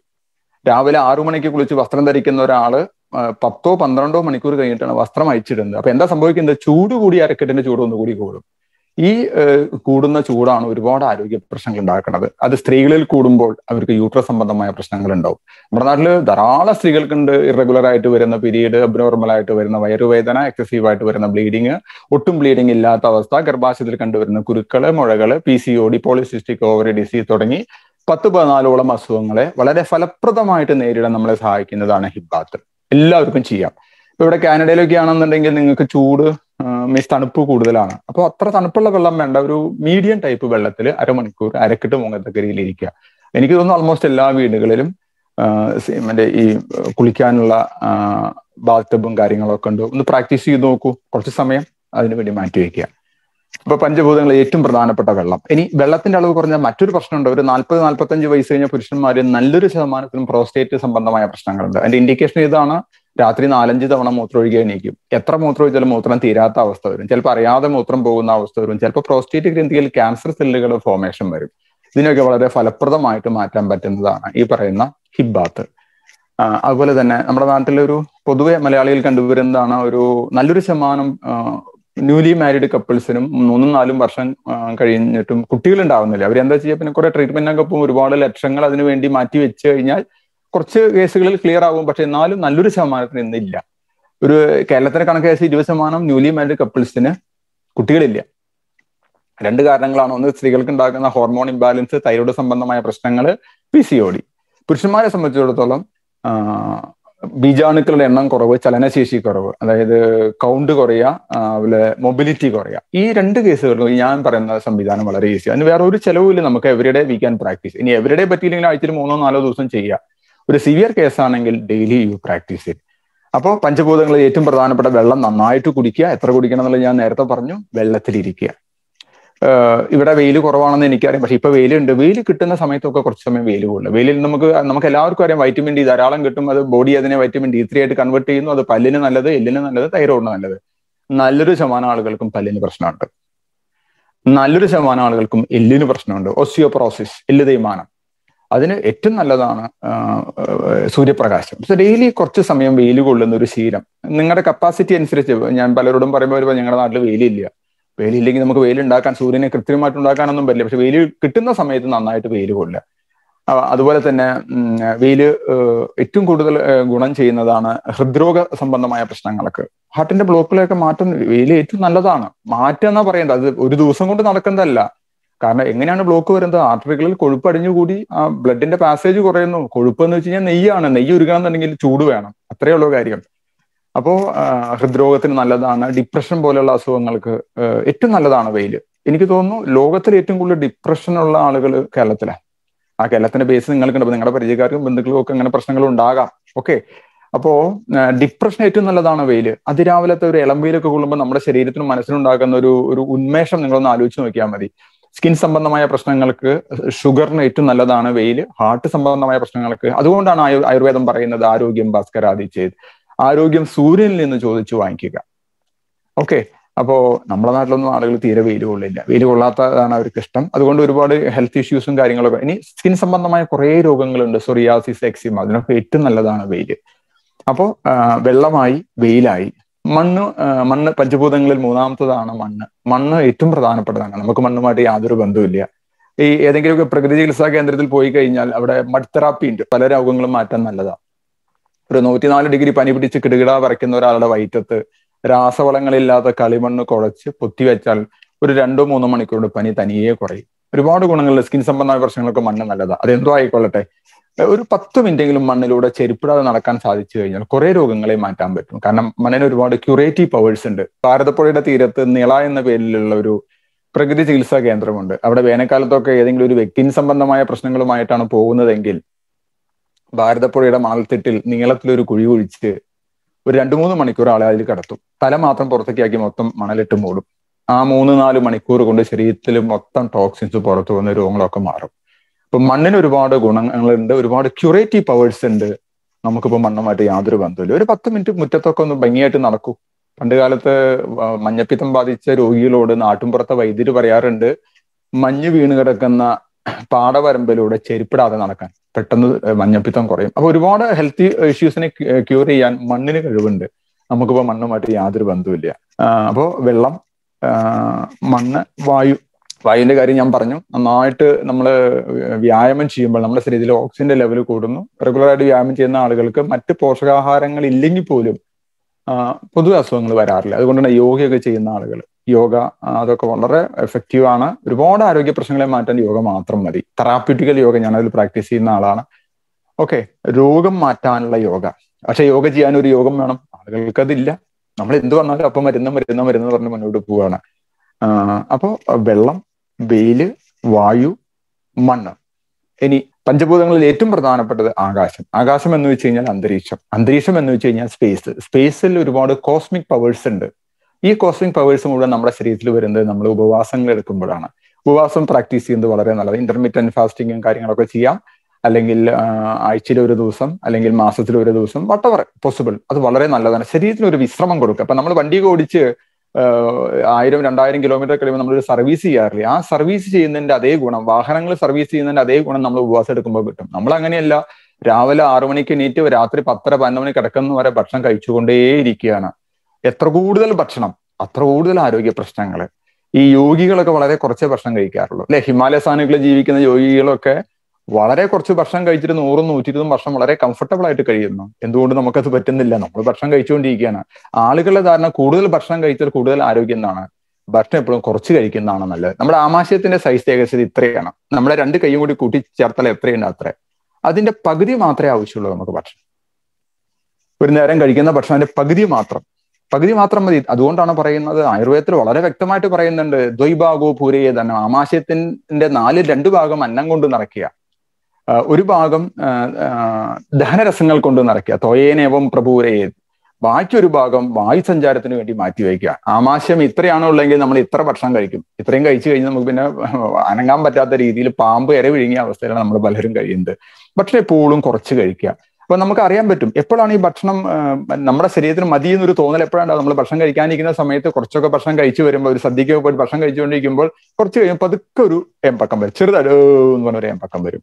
നമ്മുടെ ശരീരം നമ്മളോട് പറയണ നിർത്ത് നിർത്ത് നിർത്ത്. നമ്മുടെ പ്രിലിമിനറി പോലും ആയിട്ടില്ല. ഇനി മെയിൻ മുഴുവൻ ബാക്കി കിടപ്പ് ആ അവസ്ഥയിൽ നമ്മൾ വീണ്ടും കഴിച്ചുകൊണ്ടിരിക്കും അപ്പൊ ശരീരം ചില ലക്ഷണങ്ങളൊക്കെ തരും. നമ്മളതൊന്നും നോക്കാറില്ല. അപ്പോൾ ഞാൻ പറഞ്ഞ ആകാശം എന്ന കൺസെപ്റ്റ് നമ്മൾ കഴിക്കുന്ന ഭക്ഷണവുമായി ബന്ധപ്പെടുന്ന ഭക്ഷണം മൂന്ന് തരത്തിലുണ്ട്. ഭക്ഷണം മൂന്നല്ല മൂവായിരം തരത്തിലുള്ള ഭക്ഷണം ഞാൻ ഇവിടെ കാനലിൽ വന്നപ്പോൾ കണ്ടു. ഞാൻ പറഞ്ഞ ഭക്ഷണം മൂന്ന് കാറ്റഗറിയിൽ പെടുന്ന ഭക്ഷണമാണ്. ഒന്ന് നമ്മുടെ ശരീരത്തെ ശുദ്ധീകരിക്കുന്ന ഭക്ഷണം. പച്ചയായ പച്ചക്കറികൾ പഴവർഗങ്ങൾ മുളപ്പിച്ച ധാന്യങ്ങൾ കരിക്ക് തവിട് ഇതെല്ലാം നമ്മുടെ ശരീരത്തെ ശുദ്ധീകരിക്കുന്ന ഭക്ഷണങ്ങളാണ്. ഇത് എത്ര കൂടുതൽ കഴിക്കുന്നു അത്രയും നിങ്ങൾക്ക് ആരോഗ്യ പ്രശ്നങ്ങളൊന്നും ഉണ്ടാവില്ല. കഴിഞ്ഞ പതിനാറര വർഷമായിട്ട് ഒരു ദിവസം പോലും മുടങ്ങാതെ ഞാൻ ഡെയിലി ഫോളോ ചെയ്യുന്നത് ഈ ഒരു കാര്യം കമ്പൾസറി ഒരു നേരം കമ്പൾസറി റോ ഫുഡ് വീവിക്കാത്ത പച്ചക്കറികൾ അല്ലെങ്കിൽ പഴങ്ങൾ അല്ലെങ്കിൽ ഒരു കരിക്ക്. ദാറ്റ്സോ അത്രയേ ഉള്ളൂ. അതുകൊണ്ടുള്ള ഗുണം എന്താണ്? പതിനാറ് വർഷമായിട്ട് എനിക്കൊരു ഡോക്ടറെ കാണാൻ വേണ്ടി വന്നിട്ടില്ല. പക്ഷെ എന്നെ കാണാൻ ഒരുപാട് ഡോക്ടർമാർ വന്നിട്ടുണ്ട്. എല്ലാ കാറ്റഗറി ഡോക്ടർമാർ എന്നെ കാണാൻ വന്നിട്ടുണ്ട്. അപ്പൊ അതുകൊണ്ട് അതുകൊണ്ട് എനിക്ക് വളരെ കോൺഫിഡന്റ് പറഞ്ഞു ഞാൻ മെഡിക്കൽ സയൻസ് ഒരു ഡീപ്പായിട്ട് ഒന്നും പഠിച്ചിട്ടില്ല. പക്ഷേ ഈ ട്രീറ്റ്മെന്റ് കൊണ്ട് ഈ ജീവിത ശൈലി കൊണ്ട് തൊണ്ണൂറ് ശതമാനം അസുഖങ്ങൾ മാറുന്നുണ്ട്. നമുക്ക് എന്താ വേണ്ടത്? വി നീഡ് റിസൾട്ട് പ്രോസസ്സ് എന്തും ആയിക്കോട്ടെ വി നീഡ് റിസൾട്ട് അത്രയേ ഉള്ളൂ. പക്ഷേ ആരോഗ്യത്തിലേക്ക് കുറുക്കു വഴികളൊന്നുമില്ല. അപ്പൊ ഭക്ഷണം നമ്മുടെ ശരീരത്തെ ശുദ്ധീകരിക്കുന്ന ഭക്ഷണം നമ്മൾ എത്ര കഴിക്കുന്നു അത്രയും നമ്മുടെ ആരോഗ്യ പ്രശ്നങ്ങൾ തനിയെ മാറും. ഒരു നേരം വേവിക്കാത്ത ഭക്ഷണം മാത്രം കഴിച്ചാൽ ഒരു രോഗങ്ങളും നമ്മളെ ബാധിക്കില്ല. ഉറപ്പാണ്. പതിനാറ് വർഷം വരെ ഞാനത് ഫോളോ ചെയ്യുന്നു അതിന്റെ ഏറ്റവും നല്ല തെളിവാണ് നിങ്ങളോട് സംസാരിച്ചുകൊണ്ടിരുന്ന ഈ വ്യക്തി തന്നെ. നിങ്ങൾക്ക് എന്തെങ്കിലും ഒരു അസുഖം ഉണ്ടെങ്കിൽ ഷുഗറോ പ്രഷറോ കൊളസ്ട്രോളോ എല്ല് ഹാർട്ട് ബ്ലോക്കോ സ്ട്രോക്കോ അങ്ങനെ എന്തെങ്കിലും പ്രശ്നം ഉണ്ടെങ്കിൽ രണ്ടു നേരത്തെ ഭക്ഷണം റോ ഫുഡ് കഴിക്കുക പ്രകൃതിയിൽ നിന്ന് കിട്ടുന്ന നേരിട്ട് കിട്ടുന്ന ഭക്ഷണം ജീവനുള്ള ഭക്ഷണം കഴിക്കുക. അപ്പൊ രോഗങ്ങൾ തനിയെ മാറും. ഒരു ഒരു ദിവസം കൊണ്ട് മാറുന്നല്ല പറഞ്ഞ. ഗ്രാജുവലി പതുക്കെ പതുക്കെ അത് ഇങ്ങനെ സബ്സൈഡ് ആയിട്ട് വരും. ഇനി നമുക്കൊരു ഡീജനറേറ്റീവ് ഡിസീസ് ശരീരത്തെ നശിപ്പിച്ച് കളയുന്ന രീതിയിലുള്ള രോഗം അതായത് അഡ്വാൻസ് സ്റ്റേജിലെ ടി ബി അഡ്വാൻസ് സ്റ്റേജിലെ ക്യാൻസർ പോലുള്ള രോഗങ്ങളാണെങ്കിൽ മൂന്ന് നേരവും അടുപ്പ് കാണാത്ത ഭക്ഷണം മാത്രം കഴിച്ച് സർവരോഗങ്ങളെയും മാറ്റാം. ഞാൻ പറഞ്ഞത് സർവരോഗങ്ങളെയും മാറ്റാം എന്നാണ് സർവരോഗികളെയും സുഖപ്പെടുത്താം എന്നല്ല പറഞ്ഞത്. കാരണം രണ്ട് തമ്മിലൊരു വ്യത്യാസമുണ്ട്. ഒരു രോഗം മാറുന്നത് അഞ്ച് കാര്യങ്ങളെ ആശ്രയിച്ചിരിക്കും. ഒന്ന് രോഗിയുടെ പ്രായം. ഒരു യങ് ഏജിൽ രോഗം മാറുന്ന അതേ സ്പീഡിൽ ഒരു ഏജ്ഡ് ആയിട്ടുള്ള ഒരു വ്യക്തിക്ക് രോഗം മാറില്ല. നമുക്ക് എല്ലാവർക്കും അറിയാം. കാരണം ശരീരത്തിലെ ജീവശക്തിയുടെ വേരിയേഷൻ കൊണ്ട്. അപ്പൊ ഒന്ന് രോഗിയുടെ പ്രായം. രണ്ട് രോഗത്തിന്റെ പഴക്കം. എത്ര പഴക്കമുള്ള രോഗമാണോ കുറച്ചും കൂടി കൂടുതൽ ടൈം എടുക്കും. നമ്മൾ ഈ പറയുന്ന മെത്തേഡിലൂടെ ആ ഡീടോക്സിഫിക്കേഷൻ കാര്യങ്ങളൊക്കെ ചെയ്യുമ്പോൾ കുറച്ച് സമയം എടുക്കും. അപ്പൊ ഒന്ന് രോഗിയുടെ പ്രായം രണ്ട് രോഗത്തിന്റെ പഴക്കം. മൂന്ന് രോഗി കഴിച്ച അലോപ്പതി മരുന്നുകളുടെ അളവ്. അലോപ്പതി മരുന്നുകൾ നമ്മൾ ഇംഗ്ലീഷ് മരുന്ന് കഴിക്കുമ്പോൾ അതൊക്കെ നമ്മുടെ ശരീരത്തിൽ ടോക്സിൻസ് ആയിട്ട് രൂപപ്പെടുകയാണ് ചെയ്യുന്നത്. തൽക്കാലത്തേക്ക് ഒരു ശമനം കിട്ടുമെങ്കിലും മറ്റു പല രോഗങ്ങളായിട്ട് തനിയെ മാറും. അപ്പോൾ എത്ര കൂടുതൽ മരുന്ന് കഴിച്ചിട്ടുണ്ടോ അത്ര കൂടുതൽ ടൈം എടുക്കും അതിന് റിക്കവർ ചെയ്ത് ബോഡിയെ സ്വതന്ത്രമാക്കാൻ വേണ്ടിയിട്ട്. അപ്പോൾ രോഗിയുടെ പ്രായം രോഗത്തിന്റെ പഴക്കം രോഗി കഴിച്ച മറ്റ് ഇംഗ്ലീഷ് മരുന്നുകളുടെ അളവ് രോഗിയുടെ ശരീരത്തിൽ അവശേഷിക്കുന്ന ജീവശക്തി. ഈ ജീവശക്തി വളരെ പ്രധാനപ്പെട്ടതാണ്. ചില ആളുകൾ അറുപത് വയസ്സായിരിക്കും പക്ഷെ നല്ല ഹെൽത്തി ആയിരിക്കും നല്ല എനർജി ഉണ്ടായിരിക്കും. അവർ രോഗത്തിൽ അവരുടെ ശരീരത്തിൽ രോഗം പെട്ടെന്ന് പറയും പക്ഷേ നാൽപ്പത് വയസ്സുള്ള ഒരാൾക്ക് ചിലപ്പോൾ എനർജി എനർജി ലെവൽ കുറവാണെങ്കിൽ അവർക്ക് റിക്കവറി സ്ലോ ആയിരിക്കും. അപ്പോൾ നാല് കാര്യങ്ങൾ ഞാൻ പറഞ്ഞു. രോഗിയുടെ പ്രായം രോഗത്തിന്റെ പഴക്കം രോഗി കഴിച്ച മറ്റ് അലോപ്പതി മരുന്നുകളുടെ അളവ് രോഗിയുടെ ശരീരത്തിലെ അവശേഷിക്കുന്ന ജീവശക്തി അഞ്ച്. അഞ്ചാമത്തെ കാര്യമാണ് ഏറ്റവും പ്രധാനം. രോഗിക്ക് മരുന്നിൽ അല്ലെങ്കിൽ ഡോക്ടറിൽ അല്ലെങ്കിൽ ആ സിസ്റ്റത്തിലുള്ള വിശ്വാസം. അത് ഏറ്റവും പ്രധാനപ്പെട്ടതാണ്. ഒരു പക്ഷേ ഏറ്റവും പ്രധാനപ്പെട്ടത് അത് തന്നെയാണ്. വിശ്വാസത്തോടു കൂടി നിങ്ങൾ ഒരു തുള്ളി വെള്ളം കൊടുത്തോളൂ. മാറും. രോഗങ്ങൾ മാറും. അപ്പോ ഈ അഞ്ച് കാര്യങ്ങളാണ് എല്ലാ രോഗങ്ങളും നമുക്ക് മാറ്റാൻ പക്ഷെ എല്ലാ രോഗികളെയും സുഖപ്പെടുത്താൻ പറ്റില്ല എന്ന് പറയുന്നതിന്റെ വ്യത്യാസം ഇതുകൊണ്ടാണ്. അപ്പോ നമ്മുടെ ശരീരം നമ്മൾ കഴിക്കുന്ന മൂന്ന് കാറ്റഗറി ഫുഡാണ് ഒന്ന് ശുദ്ധീകരിക്കുന്ന ഭക്ഷണം. എത്ര കൂടുതൽ ശുദ്ധീകരിക്കുന്ന ഭക്ഷണം നിങ്ങളുടെ ശരീരത്തിൽ എത്തുന്നു നിങ്ങളുടെ ശരീരത്തിന് രോഗങ്ങൾ ഉണ്ടാവില്ല. കാരണം body itself is getting cleansed അത്രയേ ഉള്ളൂ. രണ്ടാമത്താണ് നമ്മുടെ ശരീരത്തിന് ഊർജം നൽകുന്ന ഭക്ഷണം. എനർജൈസിങ് ഫുഡ് അപ്പൊ കാർബോഹൈഡ്രേറ്റ് ഉള്ള ഭക്ഷണം ചോറ് ചപ്പാത്തി കിഴങ്ങ് വർഗങ്ങളിലൊക്കെ ഇഷ്ടംപോലെ കാർബോഹൈഡ്രേറ്റ് ഉണ്ട്. ബോഡി അത് കൺവെർട്ട് ചെയ്തിട്ട് ഗ്ലൂക്കോസ് ആക്കുന്നു. ശരീരം അതിനെ എനർജി ആയിട്ട് കൺവേർട്ട് ചെയ്യുന്നു. അപ്പോൾ അത് അത്യാവശ്യം നമ്മൾ കഴിക്കണം. അപ്പോൾ ശരീരത്തെ ശുദ്ധീകരിക്കുന്ന ഭക്ഷണം ഊർജം നൽകുന്ന ഭക്ഷണം മൂന്നാമത്തെ കാറ്റഗറിയാണ് മലിനീകരിക്കുന്ന ഭക്ഷണം. അതാണ് നമ്മൾ ഏറ്റവും കൂടുതൽ കഴിക്കുക. അതാണ് നമ്മൾ ഏറ്റവും കൂടുതൽ കഴിക്കുക. മലിനീകരിക്കുന്ന ഭക്ഷണത്തിൽ ഏറ്റവും പ്രധാനപ്പെട്ടതാണ് പഞ്ചസാര. പഞ്ചസാര വായയ്ക്ക് മാത്രം മധുരം തരും ജീവിതത്തിലെ സർവരോഗ മധുരങ്ങളും അത് കെടുത്തും. ഏറ്റവും കൂടുതൽ എല്ല് തേയ്മാനം ഉണ്ടാകുന്നതിന്റെ ഒന്നാമത്തെ കാരണമാണ് പഞ്ചസാര. ഏറ്റവും കൂടുതൽ ന്യൂറോ ഡിസോർഡറുകൾ ഞരമ്പ് സംബന്ധമായ അസുഖങ്ങൾ മുഴുവൻ ഉണ്ടാക്കുന്നത് പഞ്ചസാര ഞാൻ പറഞ്ഞ മുഴുവൻ മുഴുവൻ ഉണ്ടാക്കുന്നത് പഞ്ചസാരയാണ്. പാർക്കിൻസൺസ് എന്നൊരു അസുഖം നമ്മുടെ നാട്ടിൽ കൂടാനുള്ള ഒന്നാമത്തെ കാരണം പല കാരണങ്ങളുണ്ട്. ഒന്നാമത്തെ കാരണം പഞ്ചസാരയാണ്. കുട്ടികളില്ലാത്ത ദമ്പതികളാണ് നമ്മുടെ നാട്ടിൽ കൂടുന്നതിന്റെ പല കാരണങ്ങളിൽ പ്രധാനപ്പെട്ട ഒരു കാരണം പഞ്ചസാരയാണ്. ചില കുട്ടികളൊക്കെ ജനിച്ചു കഴിഞ്ഞാൽ ഭയങ്കര ഹൈപ്പർ ആക്ടിവിറ്റിയാണ് ഹൈപ്പർ ആക്ടിവിറ്റി ഉള്ള കുട്ടികളുടെ കേസുകളിൽ ഉറപ്പ് ഒന്നുകിൽ ഗർഭാവസ്ഥയിൽ അമ്മ ഇഷ്ടംപോലെ മധുരം കഴിച്ചിട്ടുണ്ട് അല്ലെങ്കിൽ കുട്ടി ജനിച്ചതിന് ശേഷം കുട്ടി ഇഷ്ടംപോലെ മധുരം കഴിച്ചിട്ടുണ്ട്. അപ്പൊ ഇങ്ങനെ കുറെ പ്രശ്നങ്ങളുണ്ട്. കുട്ടികൾ ചെറു കുട്ടികൾ തന്നെ കുട്ടികൾ ചെറുപ്രായത്തിൽ കണ്ണട വെക്കുന്നുണ്ടെങ്കിൽ കാരണം ഒപ്റ്റിക്കൽ നർവുകളെ മുഴുവൻ നശിപ്പിക്കുന്ന വസ്തുവാണ് പഞ്ചസാര. ഈ പഞ്ചസാര കൊണ്ടാണ് നമ്മുടെ ഒരു ദിവസം തുടങ്ങുന്നത് അല്ലെ? സ്റ്റോപ്പ് ഇറ്റ് ഞാൻ കുറയ്ക്കാനൊന്നും പറയുന്നില്ല. പഞ്ചസാര പഞ്ചസാര കലർന്ന വസ്തുക്കൾ ഒഴിവാക്കി ശർക്കര കരിപ്പട്ടി പനഞ്ചക്കര പനങ്കൽക്കണ്ടം അതിലേക്ക് മാറുക. ഇനി കാനഡയിൽ എന്തൊക്കെ അതിന് സബ്സ്റ്റിറ്റ്യൂട്ട് ആയിട്ട് കിട്ടുന്നുണ്ടെന്ന് എനിക്ക് അറിയില്ല യു ഫൈൻഡ് ഔട്ട് അന്വേഷിപ്പിൻ കണ്ടെത്തുമെന്നാണ് ചൊല്ല്. അല്ലേ? അന്വേഷിച്ചാൽ തീർച്ചയായിട്ടും കിട്ടും. അപ്പൊ പഞ്ചസാര. ഇനി ഇപ്പൊ പഞ്ചസാര എന്നൊരു വസ്തു ഞാൻ ഇന്ത്യയുടെ കാര്യം കണ്ണിന്റെ കാര്യം പറയാൻ ഞാൻ ആയിട്ടില്ല. ഇന്ത്യയിൽ ഒരു വർഷം പഞ്ചസാര ഒഴിവാക്കിയാൽ സർക്കാർ ഒരു സർക്കാർ മുൻകൈ എടുത്ത് പഞ്ചസാര ഇന്ത്യയിൽ ബാൻ ചെയ്താൽ എനിക്ക് ഉറപ്പുണ്ട് അടുത്ത ഒരു വർഷം കൊണ്ട് ഇന്ത്യയിലെ സർവ ന്യൂറോ സർജന്മാർക്കും പണിയില്ലാണ്ടോ അത്രയും അപകടം പിടിച്ചാണ്. ആ സാധനം വീട്ടിൽ നിന്ന് എടുത്ത് മാറ്റുക. അപ്പൊ നമ്മുടെ ശരീരത്തെ മലിനീകരിക്കുന്ന ഭക്ഷണം കൊണ്ടാണ് നമ്മൾ ഒരു ദിവസം തുടങ്ങുന്നത്. അപ്പൊ നമുക്ക് ആരോഗ്യം ഉണ്ടാവുമോ? രോഗം ഉണ്ടാവുമോ? നിങ്ങൾ തന്നെ തീരുമാനിക്കുക. അപ്പൊ ഒന്ന് പഞ്ചസാര രണ്ടാമത്താണ് മൈദ.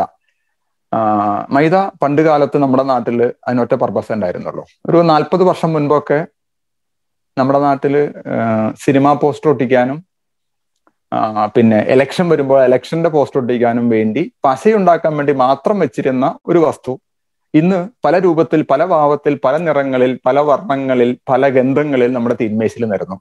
മൈദ ഏത് രൂപത്തിൽ വന്നാലും മൈദയുടെ അടിസ്ഥാന സ്വഭാവം മാറില്ല അത് പശയാണ്. ഓക്കെ ഇത് ഉള്ളിൽ ചെന്നാൽ അവിടെ പറ്റിപ്പിടിക്കും. ദഹനം നടക്കില്ല. അപ്പൊ ഏറ്റവും വലിയ ഡൈജസ്റ്റ് ഡിസോർഡർ ഉണ്ടാക്കുന്നത് ഒന്നാണ് മൈദ. ഇനി എന്റെ മറ്റൊരു വശമുണ്ട്. മൈദ സോഫ്റ്റ് ആക്കാൻ വേണ്ടി ചേർക്കുന്ന ഒരു രാസവസ്തുവാണ് അലോക്സൻ. നിങ്ങൾ കേട്ടിട്ടുണ്ടായിരിക്കും. മൈദ സാധാരണ മൈദ അത്ര സോഫ്റ്റ് അല്ല. പക്ഷേ ഈ അലോക്സൻ ചേർത്ത് അത് ബ്ലീച്ച് ചെയ്യുമ്പോൾ എന്താ സംഭവിക്കുക? അത് ഭയങ്കര സോഫ്റ്റ് ആകും അതുകൊണ്ട് പത്തും പന്ത്രണ്ടും അടരകളുള്ള ലെയറുകളുള്ള പൊറോട്ടയും പഫ്സും ഒക്കെ ഉണ്ടാക്കാൻ പറ്റും. ഈ അലോക്സാൻ എന്നൊരു വേറൊരു ഗുണമുണ്ട് വേറൊരു പ്രത്യേകതയുണ്ട്.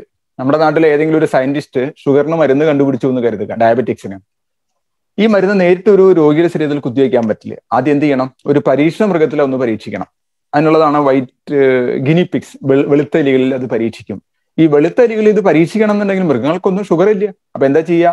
മൃഗങ്ങളിൽ കൃത്രിമമായിട്ട് ഷുഗർ ഉണ്ടാക്കാൻ വേണ്ടി കുത്തിവെക്കുന്ന രാസവസ്തുവാണ് അലോക്സൻ. ആ അലോക്സൻ ചേർത്ത മൈദ ചേർ അലോക്സൻ ചേർത്ത് സോഫ്റ്റ് ആക്കിയ മൈദ കൊണ്ടാണ് നമ്മൾ കഴിക്കുന്ന ധാരാളം പലഹാരങ്ങൾ ഉണ്ടാക്കുന്നത്. ഇത് ഉള്ളിൽ ചെന്നാൽ നിങ്ങൾ ആലോചിച്ച് നോക്കുക ഷുഗർ ഉണ്ടാവും ഇല്ലാതിരിക്കും ഇത്രയുള്ള കാര്യം. നമ്മുടെ നാട്ടിൽ ലോകത്തിൽ ഏറ്റവും കൂടുതൽ ഷുഗർ പേഷ്യൻസ് ഉള്ള ഒരു ഒരു രാജ്യമാണ് ഇന്ത്യ. അതിൽ നമ്പർ വൺ ഇരുപത്തെട്ട് സംസ്ഥാനങ്ങളിൽ ഒന്നാം സ്ഥാനം കേരളമാണ്. ഈ ക്ലാസ് കേൾക്കുന്ന ഭൂരിപക്ഷം പേരും കേരളത്തിന്റെ ബാക്ക്ഗ്രൗണ്ടിൽ നിന്നുള്ളവരാണ് ഒന്ന് മാറി ചിന്തിക്കുക. അപ്പോൾ രണ്ടാമത്തെ വെളുത്ത വിഷം പഞ്ചസാര മൈദ. മൂന്നാമത്തതാണ് പാൽ. എനിക്ക് തോന്നുന്നു കാനഡയിലൊക്കെ അത്യാവശ്യം വലിയ കുഴപ്പമില്ലാത്ത അൺഅഡൾട്ടേഡ് ആയിട്ടുള്ള മിൽക്ക് കിട്ടുന്നുണ്ടെന്നാണ് എനിക്ക് മനസ്സിലാക്കാൻ കഴിഞ്ഞത്. എത്രമാത്രം ശരിയാണെന്ന് എനിക്കറിയില്ല. പക്ഷേ ഇന്ത്യയിലെ കാര്യം മഹാമോശ. ഇന്ത്യയിൽ പശുക്കളുടെ എണ്ണം കുറയുകയും പാലിന്റെ ഉപയോഗം കൂടുകയും ചെയ്യുന്നത്. അഡൾട്രേഷനിലെ നമ്പർ വൺ ആണ് പാൽ. പ്രത്യേകിച്ച് ഒരു ഉത്സവം അല്ലെങ്കിൽ ഒരു ഫെസ്റ്റിവൽ ഒക്കെ വരുമ്പോൾ ഒരുപാട് മായം കലർന്ന പാൽ വരുന്നുണ്ട്.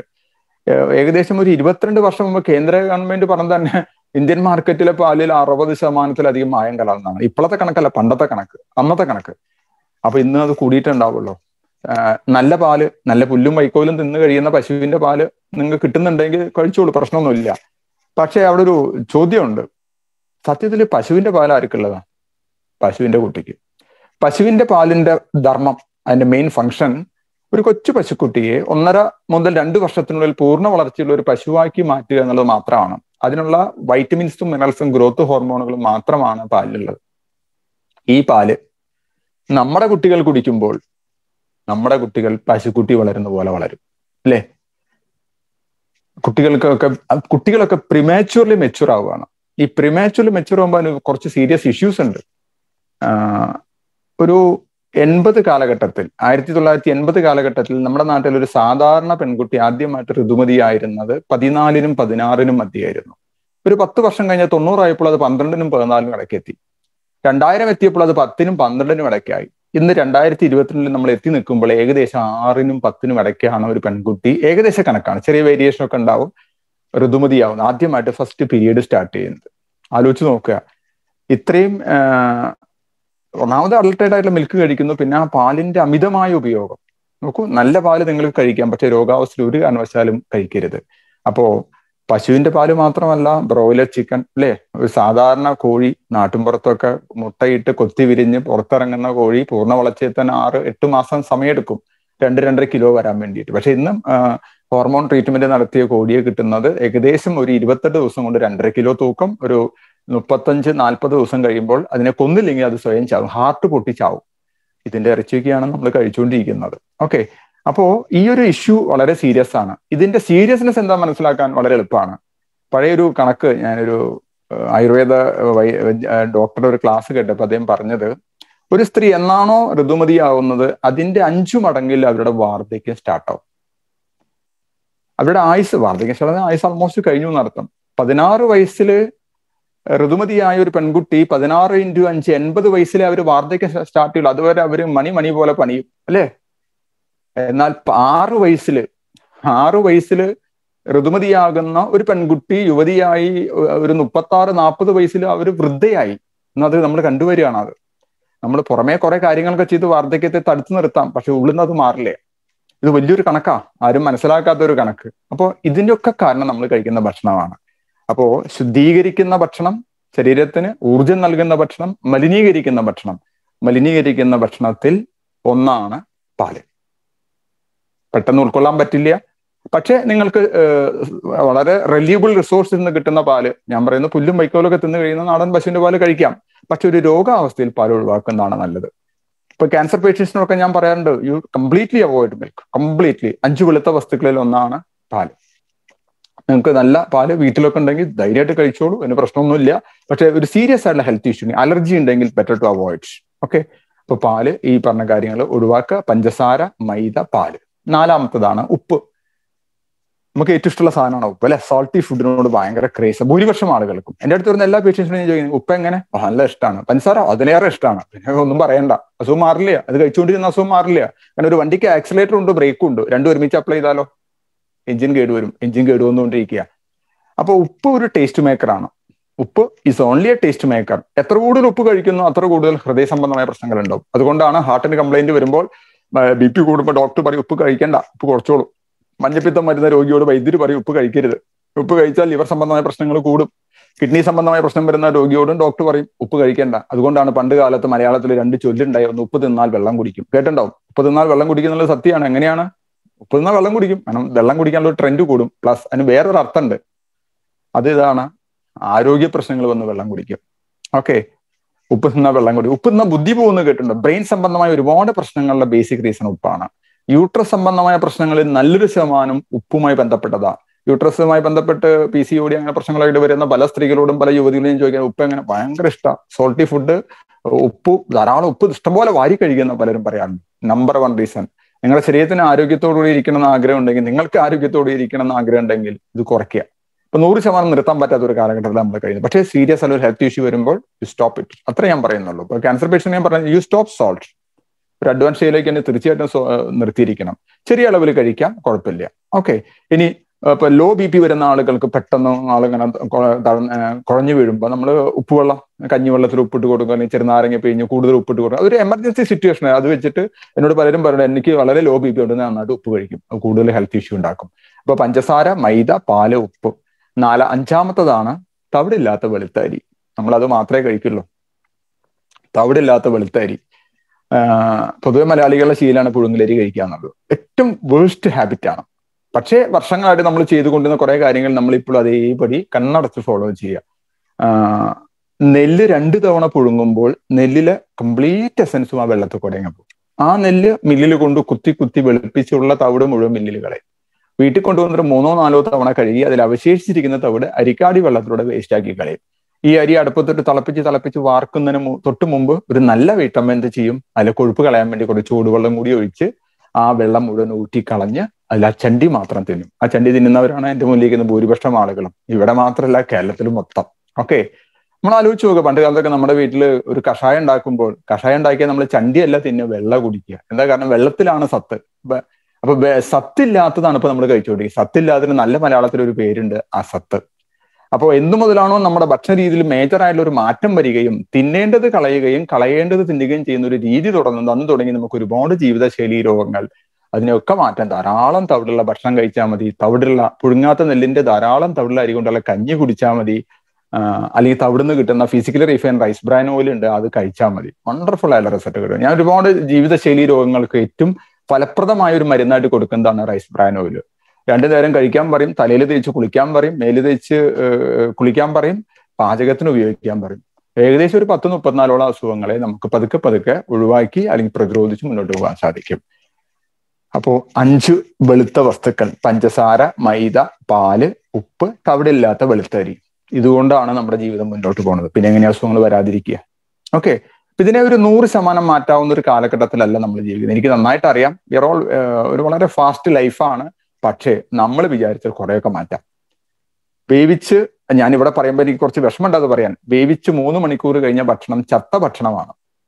ചത്ത ഭക്ഷണം ഡെഡ് ആണ് ആ ഫുഡ് നമ്മൾ മൃതമായ ഭക്ഷണം കഴിക്കുമ്പോൾ നമ്മുടെ ശരീരം വളരെ പെട്ടെന്ന് മൃതമായി കൊണ്ടിരിക്കുകയാണ് എപ്പോഴും ഫ്രഷ് ആയിട്ടുള്ള ഫ്രഷ് ഫുഡ് പരമാവധി. ഞാൻ പറഞ്ഞു എപ്പോഴും അത് പ്രാക്ടിക്കൽ ആവില്ല. പക്ഷെ പറ്റുന്ന സമയത്തൊക്കെ you try to take fresh food ഞാനിത് പറയുമ്പോൾ എല്ലാവർക്കും അത് യോജിക്കാൻ പറ്റില്ല. രണ്ടുപേരും ജോലിക്ക് പോകുന്നവരാ. സി വേണമെങ്കിൽ നമുക്ക് ഇതൊക്കെ ചെയ്യാം. ആരെ വിചാരിക്കേണ്ടത്? അവനോ തന്നെ വിചാരിച്ചാൽ മതി. ഇതൊക്കെ പലരും പറയും എനിക്ക് സമയമില്ല. എല്ലാവർക്കും ഒരേ സമയം തന്നെ all everybody seven twenty four hours but if you feel നിങ്ങൾക്ക് ഒരു ഹെൽത്തിന് ഒരു സീരിയസ് ആയിട്ടുള്ള ഇഷ്യൂ ഉണ്ടെങ്കിൽ യു പ്രാക്ടീസ് ഇറ്റ് ഞാൻ പറഞ്ഞ ഏതെങ്കിലും ഒരു കാര്യം ഒരു പത്ത് ശതമാനം നിങ്ങൾ ചെയ്താൽ നിങ്ങൾക്ക് ഇരുപത് ശതമാനം റിസൾട്ട് കിട്ടും. പത്ത് ശതമാനമല്ല കിട്ടുക. അത്രയും വണ്ടർഫുൾ ആണ്. അപ്പൊ ഈ അഞ്ച് വെളുത്ത വസ്തുക്കൾ ഒഴിവാക്കുക. പിന്നെ ഒരു സീരിയസ് ആയിട്ടുള്ള ഹെൽത്ത് ഇഷ്യൂ ഉണ്ടെങ്കിൽ യു അവോയ്ഡ് നോൺ വെജ് ഈ ഈ ഒരു ഏരിയയിൽ തണുപ്പൊക്കെ കൂടിയ ഏരിയയിൽ നോൺ വെജ് അത്യാവശ്യം വേണം. എനിക്കറിയാം കൂടുതൽ ഹീറ്റ് പ്രൊഡ്യൂസ് ചെയ്യാൻ അത് ഗുണം ചെയ്യും. കുറച്ച് നല്ല ഫാറ്റും കാര്യങ്ങളൊക്കെ ഓക്കെയാണ് പക്ഷെ ഒരു സീരിയസ് ആയിട്ടുള്ള ഹെൽത്ത് ഇഷ്യൂ ഉണ്ടെങ്കിൽ തീർച്ചയായിട്ടും better to avoid okay better to avoid non veg non veg എന്ന് വെച്ച് കഴിഞ്ഞാൽ പലരുടെയും ധാരണ മീൻ നോൺ വെജ് അല്ല എന്നാണ്. മുട്ടനോ എല്ലാം ജന്തുജന്യമായ എല്ലാം നോൺ വെജ് ആണ്. സീരിയസ് ആയിട്ടുള്ള ഹെൽത്ത് ഇഷ്യൂ ഉണ്ടെങ്കിൽ better to avoid otherwise you can take ഇനി ഇതൊക്കെ കഴിക്കുമ്പോൾ അതിനൊരു ആന്റിഡോട്ട് ഉണ്ട്. കാരണം ഏത് വർഷം കഴിച്ചാലും നോക്കൂ നമ്മൾ ഈ കഴിക്കുന്ന ചായ കാപ്പി വറുത്തത് പൊരിച്ചത് ബേക്കറി പലഹാരങ്ങൾ നോൺ വെജ് ഇത് മുഴുവൻ അസിഡിക് ആണ്. ഈ അസിഡിക് ആയിട്ടുള്ള ഫുഡ് ഭക്ഷണം നമ്മൾ കഴിക്കുമ്പോൾ നമ്മുടെ ബ്ലഡ് അസിഡിക് ആയിട്ട് മാറും. നമ്മുടെ ബ്ലഡിന്റെ നാച്ചുറൽ ആയിട്ടുള്ള ഒരു ഒരു ഫോം എന്താ? ആൽക്കലി നാച്ചുറൽ ക്ഷാരഗുണത്തിലുള്ള ആയിരിക്കണം ബ്ലഡ് ബ്ലഡ് ക്ഷാരഗുണത്തിലാണെങ്കിൽ നമ്മുടെ ഇമ്മ്യൂണിറ്റി പവർ കൂടും. പക്ഷേ ഈ കഴിക്കുന്ന ഭക്ഷണം കൊണ്ട് ബ്ലഡ് അമ്ലഗുണത്തിലോട്ട് വരുമ്പോൾ അതിനെ ക്ഷാരഗുണത്തിലോട്ട് കൺവെർട്ട് ചെയ്യാൻ നമുക്ക് ഇതിന്റെ കൂടെ കുറച്ച് ആന്റിഡോട്ടുകൾ കഴിക്കാം. ധാരാളം വേവിക്കാത്ത പച്ചക്കറികൾ ഭക്ഷണത്തിൽ ഉൾപ്പെടുക എന്നും ഭക്ഷണം കഴിക്കുമ്പോൾ മൂന്നിലൊന്ന് ചോറ് അല്ലെങ്കിൽ ചപ്പാത്തി വേവിച്ച ഭക്ഷണം. മൂന്നിലൊന്ന് കറി മൂന്നിലൊന്ന് വേവിക്കാത്ത പച്ചക്കറികൾ സാലഡ് രൂപത്തിൽ നിങ്ങൾക്ക് കഴിക്കാം. ഇത് മാത്രം ചെയ്താൽ മതി. പ്രശ്നങ്ങളൊക്കെ വളരെ സബ്സിഡ്. ആരോഗ്യം ഒരു സുപ്രഭാതത്തിൽ ഓടിക്കേറി വരുമൊന്നുമില്ല ഇതിങ്ങനെ പതുക്കെ പതുക്കെ സ്ലോലി സ്ലോലി വരുന്ന കാര്യങ്ങളാണ്.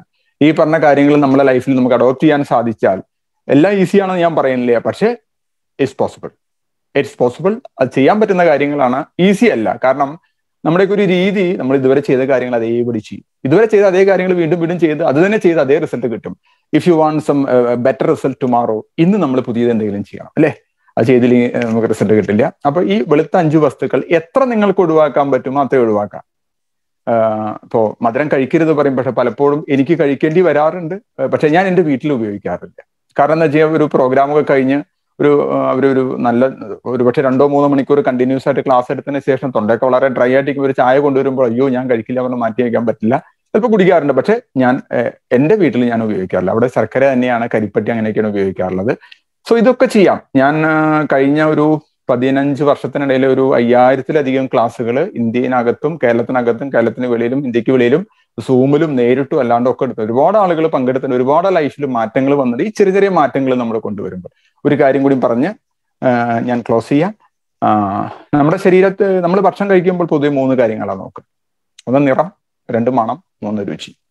അല്ലാതെ ഒരാളും കഴിക്കുന്ന ഭക്ഷണം എന്റെ ശരീരത്തിന്റെ ഒരു ഭാഗമായിട്ട് മാറുന്നതാണോ നോക്കിയിട്ട് ആരും ഭക്ഷണം കഴിക്കാറില്ല. അപ്പോ മനസ്സിലാക്കേണ്ട ഒരു കാര്യം every artificial colour causes cancer in our body എല്ലാ കൃത്രിമ നിറങ്ങളും ശരീരത്തിൽ ക്യാൻസർ ഉണ്ടാക്കും. നോ ഡൗട്ട് നോ ഡൗട്ട് അപ്പോ കളറ് നിറം മണം കണ്ണിന് തൃപ്തി മൂക്കിന് തൃപ്തി നാവിന് തൃപ്തി. നമ്മുടെ ശരീരത്തിന് തൃപ്തി ഉണ്ടെന്നാൽ ആരും നോക്കാറില്ല. അപ്പോ അതിൽ ആ തൃപ്തി ശരീരത്തിന് തൃപ്തി കിട്ടണമെങ്കിൽ അതിൽ പോഷകങ്ങൾ വേണം. അതിൽ വൈറ്റമിൻസ് വേണം മിനറൽസ് വേണം ഫൈബർ വേണം പ്രോട്ടീൻ വേണം. വൈറ്റമിൻ വളരെ പ്രധാനപ്പെട്ടതാണ്. പക്ഷെ നമ്മുടെ ബോഡി അതൊരിക്കലും ആവശ്യപ്പെടില്ല. വൈറ്റമിൻ എ കുറഞ്ഞാൽ കണ്ണിന്റെ കാഴ്ചശക്തി കുറയും. കണ്ണിന് കാഴ്ചശക്തി കുറയുന്ന സമയത്ത് നമ്മൾ ഒരു കുട്ടിക്ക് കണ്ണിന് കാഴ്ചശക്തി കുറഞ്ഞാൽ നമ്മൾ എന്താ ചെയ്യും നേരെ കണ്ണ് ഡോക്ടറെ പോയി കാണും. അദ്ദേഹം ഒരു കണ്ണട കണ്ണ് ടെസ്റ്റ് ചെയ്തിട്ട് ഒരു കണ്ണട ഫിറ്റ് ചെയ്യിപ്പിക്കും. കണ്ണിൽ ഒഴിക്കാൻ ഒരു മരുന്നോ കഴിക്കാൻ ഒരു ഗുളികയോ തരും. പക്ഷെ കണ്ണിന് അത്യാവശ്യം വേണ്ടതാണ് വൈറ്റമിൻ എ.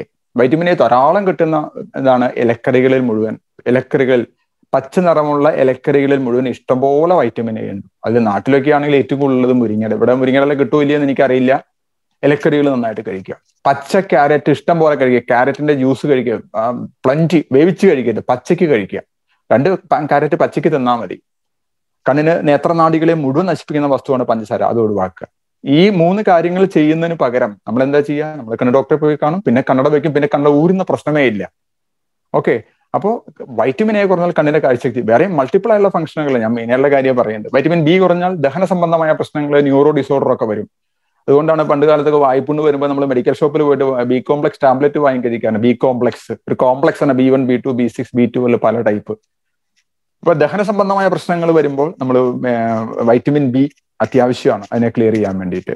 വൈറ്റമിൻ സി കുറഞ്ഞ നമ്മുടെ ഇമ്മ്യൂണിറ്റി പവർ പറയും. ഒരു രണ്ട് രണ്ടര വർഷമായിട്ട് നമ്മൾ കൊറോണ എന്ന് പറഞ്ഞ ഒരു അവസ്ഥയിൽ നിന്നും മാറി തൽക്കാലത്തേക്ക് ഒന്ന് പുറത്ത് കിടക്കണം. എനിക്ക് വളരെ സന്തോഷം തോന്നി. കാനഡയിൽ വന്നപ്പോൾ കാര്യമായിട്ട് ആരും മാസ്ക് വെച്ച് നടക്കണില്ല. ഇന്നും കേരളത്തിൽ മാസ്ക് വെച്ച് നടക്കുകയാണ് ആളുകൾ മാസ്ക് കൊണ്ട് രോഗത്തിനെ മാറാൻ മാറ്റാൻ പറ്റുമെന്നൊന്നും എനിക്കറിയില്ല.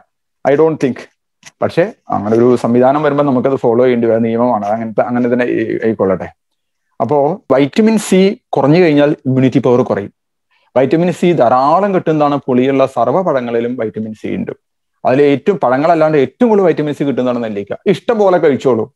ക്യാൻസർ പേഷ്യൻസിനൊക്കെ ഒരു നേരം നാനൂറ് ഗ്രാം നെല്ലിക്ക അരച്ച് പിഴിഞ്ഞ് അതിന്റെ നീര് കുളിച്ചാൽ മതി. ബെസ്റ്റ് റിസൾട്ടാണ് vitamin C full of vitamin C കുറച്ച് മഞ്ഞൾപ്പൊടിയും കൂടിയിട്ട് വളരെ വിശേഷമായി അപ്പോൾ പല ആളുകൾക്കും കൊറോണ വന്നു. പക്ഷെ ഒരു വീട്ടിൽ എല്ലാവർക്കും കൊറോണ വന്നില്ല? വൈ അതാണ് ഇമ്മ്യൂണിറ്റി ഇമ്മ്യൂണിറ്റി പവർ കൂടുതലുണ്ടെങ്കിൽ നമ്മുടെ ശരീരത്തിൽ കൊറോണയുടെ വൈറസും ഉണ്ട് ക്യാൻസറിന്റെ വൈറസും ഉണ്ട് സർവരോഗങ്ങളുടെ വൈറസും ഉണ്ട്. എപ്പോഴാണ് ആ വൈറസ് പുറത്തു കിടക്കുന്നത്? നമ്മുടെ ഇമ്മ്യൂണിറ്റി പവർ കുറയുമ്പോൾ അപ്പോൾ വൈറ്റമിൻ സി നമ്മുടെ ശരീരത്തിൽ ധാരാളം ഉണ്ടെങ്കിൽ നമ്മുടെ ഇമ്മ്യൂണിറ്റി പവർ വൈറ്റമിൻ ഡി കുറഞ്ഞാൽ എല്ലുകൾ ദുർബലമാവും. വൈറ്റമിൻ ഡി നമ്മൾ ആൾറെഡി പറഞ്ഞു വെയിലിൽ നിന്ന് കിട്ടുന്നതാണ് സൂര്യപ്രകാശത്തിൽ നിന്ന് കിട്ടുന്നതാണ്.